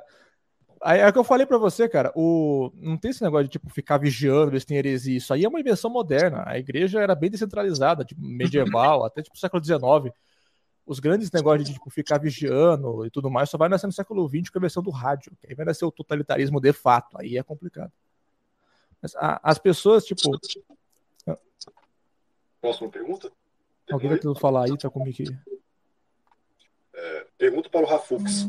O Brasil Imperial, Limal no Douto, o Brasil Imperial era materialmente católico e formalmente maçônico? Não, ele era materialmente um, um regime e formalmente o constitucional, entendeu? Só que ele retirava, é, retirava todo o conteúdo é, que, liberal do, do Benjamin Constant, por exemplo, várias coisas dele, e, e colocava, preservava o Ansem regime. O que, o que fazia o Ansem regime do Brasil imperial eram as nações filipinas. É, o, o Benjamin Constant, as pessoas não leem esse cara, é impressionante. Primeiro que ele nunca fala em poder moderador. Para ele tem, tipo, são cinco poderes, não quatro, pra você ter ideia. É o poder régio, o poder executivo, o que ele chama de casa da tradição, que é o Senado, o que ele chama de casa da opinião, que é a Câmara dos Deputados, e o que ele chama de poder judiciário. Então não são, tipo, não tem nem poder moderador, nem, nem quatro, são, tipo, cinco poderes e o poder régio. Aí, aí é- é- são poderes separados. Tiver aqui até no, no- na Inglaterra, o parlamento é uma, uma figura de linguagem. A, a Câmara dos Comuns a Câmara dos Lordes são dois poderes diferentes. Até inventar em televisão, o cara da Câmara dos Comuns não sabia como era a Câmara dos Lordes. Quando o primeiro pegou isso aí, modificou totalmente. Ele fez a, a Constituição virar uma forma do, do rei governar como era na época medieval, que é o seguinte: reina, governa e administra. Até quando mais para frente, em 47, vão, vão colocar primeiro-ministro, quem escolhe primeiro-ministro é o imperador. Então continuou isso daí até o final. É, mas é isso, é, é uma forma constitucional, como qualquer estado constitucional, mas mantendo a, a essência. Que é o importante. Respondido aí, é, Hideki Mizashi, vocês estão vendo mais alguma pergunta? Querem falar alguma coisa? A gente concluir aqui? Bom, é, acho que não. Acho que se, se quiserem fazer alguma consideração final, algum encaminhamento, não sei se seria interessante marcar alguma outra coisa, ou talvez algum. Não sei se vocês têm pique para fazer algum debate escrito também. É, Bora vocês que sabem que É, quiserem dar. Vamos lá, três livros, porque todo mundo tem que ler. Você quer começar, Matheus? Teu público? Pode começar que eu vou linkar aqui a minha thread de livros no, no Twitter. Não, não é, não é tudo. Não vamos, não vamos dar uma biblioteca, só três, tá ligado? Dá três pros caras. Tipo, livros tem que ser lido. Gustavo Barroso, Gustavo Barroso, Gustavo Barroso já é topzera. Então, o Gustavo Barroso fala que o Dom Pedro I era herói do catolicismo no primeiro reinado? Porra. No História Secreta do Brasil? Então, mas o, o Larce, por exemplo, você, você- qual a sua opinião sobre O o Gustavo, Gustavo Barroso, ele é Barroso? fanboy do Pedro I. Meu advogado não permite reclamar. Eu só estou citando aqui um dos livros de história que estão na Academia Brasileira e não, não sei de nenhum outro posicionamento posterior do Gustavo Barroso a respeito de nada, tá? Essa é a minha declaração do advogado aqui. Entendi. Tem um É. certo povo que o Barroso opina que, que, eu, que, eu, que eu gosto, cara. É isso mesmo, os, os paulistas. O que que vocês pensaram? Nada. Cacáceles, quase caí da cadeira. Piadas não são meu forte. Eu sou meu forte são piadas que derrubam live, cara. Quando eu tento fazer uma piada que não derruba live, eu não consigo. Ô, ô, ô, Rafux, eu quero muito ver se o Ian Neves vai ver aquele vídeo que tu fez, mano. Se Então, mano, cara. aquilo furou a bolha. 7 mil views em um dia. Tá tipo, Eu cê- tá ligado? mano, Tá ligado o é, ranking você do é YouTube? deve possível de saber. processar, Tá ligado né, o ranking do YouTube? Tá lá, tipo, os 10 tá lá, tipo, é coisa de mil, dois mil no negócio. No máximo. Os máximos é tipo mil, dois mil num dia. Aí bateu 7 mil num dia. Mano, se, não, se ele ver, eu tô fudido, vai me processar. Vou tomar no cu. Você se ferrou, cara. Então, para recomendar aqui três livros, eu tenho um Fala. livro A Realeza de Dom Miguel, Miguel Sotomayor, 1882. É, esse é um livro muito, muito legal, bem curtinho, mas muito legal. Ah, segundo livro, A Legitimidade da Exaltação de Dom Miguel ao Trono, Felipe Nery Soares de Avelar, 1828. Tá defendendo aí porque que a gente não entrou nesse tema, porque sinceramente eu acho que essas ah, é legítimo, né, é um pouco positivista esse negócio bem legalista às vezes. Mas enfim, é, é, um livro muito bom que fala por que, que Dom, Dom Miguel I era o rei legítimo de Portugal e Dom Pedro IV não seria nem Dona Maria II, melhor especificando. Né? E a terceira recomendação de livro, eu prefiro não recomendar um livro, eu prefiro recomendar uma playlist. No meu canal tem a playlist do Miguelismo e, sobretudo, todas as aulas do professor Eduardo Cruz que estão no TED Talk, na Resistência Cultural, sobre a Vila Francada, sobre independência, sobre Miguelismo. É fenomenal. Carlismo também assistam, que é movimento primo, irmão do movimento miguelista. Tá? Essas aqui são as minhas recomendações e Gustavo Barroso. Eu, eu recomendo. Mas então, o, o, a, gente o tem esse lado em comum, a gente tem esse lado em comum. Ambos gostamos do Gustavo Barroso. Leiam. Olá, eu posso Você consideraria o Gustavo Barroso um liberal por ele, por ele, por exemplo, não passar pano, mas ter umas opiniões mais favoráveis a Dom Pedro? A Dom Pedro? Primeiro. Meu amigo, eu não vou conversar sobre o Gustavo Barroso, tá? Não, não, não, não. É, então, então não precisa ser o Gustavo Barroso pode ser o Zezinho qualquer, tipo. Não, não vai rolar. Se eu passar uma lista de nomes em alemão, Missai, você lê agora ao vivo. Como é que é? Eu te passar uma lista de nome em alemão, você não sabe o nome que é, você vai ler ao vivo? Não, não vai fazer nada disso, não, porque já tá. É, cara, para, não faz isso. O Gustavo Barroso, eu achei na internet os livros dele aí, não sei mais o que ele fez, sabe? Eu só li esses dois livros aí. Eu também, eu também não sei quem, quem é o Gustavo Barroso, só sei que ele foi um grande escritor brasileiro que estava na Academia ah, Brasileira de Letras. Decepcionam, cara. Não, não, é, é não, conheço favorito, opini... mano, não conheço as opiniões dele, então se a ADL estiver ouvindo isso aqui, eu não, não sei nada do que ele defende. Mano, o pior é que hoje, hoje os integralistas, é, mano, os caras não chegam aos pés do Gustavo Barroso, entendeu? Eu fico decepcionado eu li, eu li o Gustavo Barroso e vejo, mano, esse cara é besta, você vê integralismo, porra, cringe pra caralho. Caraca, imagina ser chamado de liberal. Meu Deus. Não, tu, viu aquele, tu viu aquele vídeo do Galo, do Galo Carijó? Não.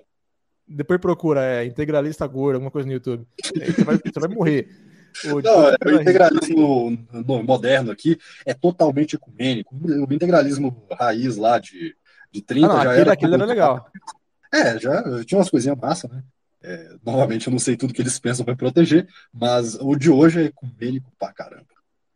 O, deixa eu recomendar aqui meus três livros, então. É... Naquela época já era um pouco, mas hoje é bem mais. Naquela época era só cringe, cara. Só que hoje é cringe burro. Ah, mas, cara. Na, deixa eu falar aqui, os meus três livros são é, Os Pilares da Dependência, do Evandro Pontes, é, Formação Histórica da Nacionalidade Brasileira, do Oliveira Lima, e é, O Movimento da Independência, do Van Hagen.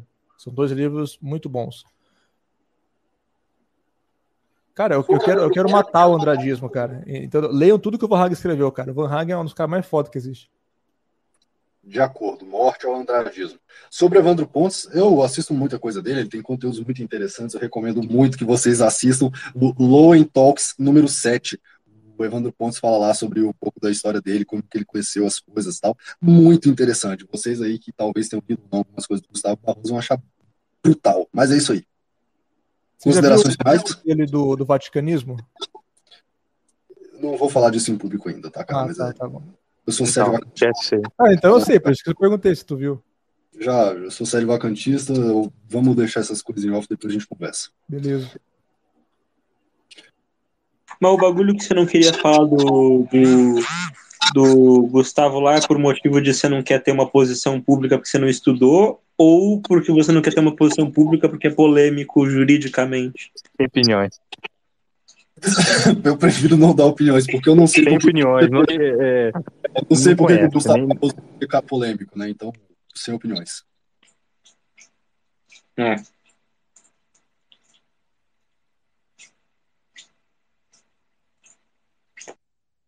Mais algum comentário? Um dos dois? Os três? Sasha? Bom, é, para fechar, eu só gostaria de então aproveitar né, que tem bastante gente presente aqui, especialmente católico, que rezem todos pela minha avó, é, que está fazendo tratamento para quimioterapia, e que rezem também por mim, que estou me preparando né, para o meu casamento para os próximos anos. Né? Então, é isso. Agradeceria a todos que puderem rezar pela minha avó e por mim.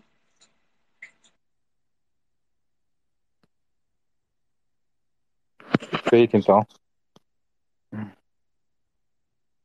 Bom, eu dei uma olhada aqui, não vi mais nenhuma pergunta. Pessoal, meu, meu, meu Twitter está aqui, vocês podem comentar. Também tem o, meu e-mail né, no canal do YouTube. Recomendo muito que vocês assistam lá a aula sobre o Ralliman. É a primeira vez que alguém fez uma análise crítica histórica em língua portuguesa, francesa, espanhola, então assistam.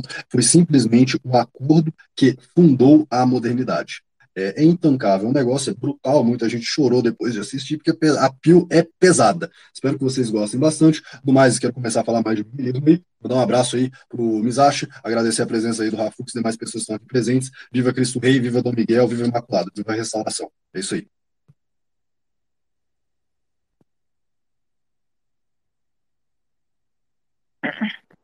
Acabou a live, posso falar Forte abraço, agora? pessoal. Viva Cristo Rei, Deus abençoe a todos. Deus abençoe a todos. Acabou a live, posso falar hum. crimes? Não, ainda não, peraí. Não vai se despedir?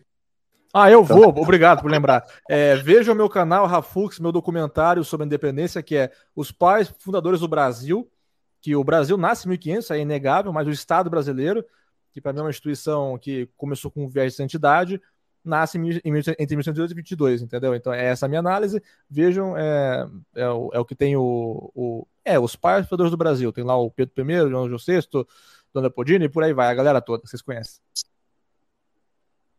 Rafux, o nome do canal. É isso. Então, vamos concluindo aqui. Um abraço a todos. Salve Maria. Viva Cristo Rei. Tchau, tchau. Salve Maria.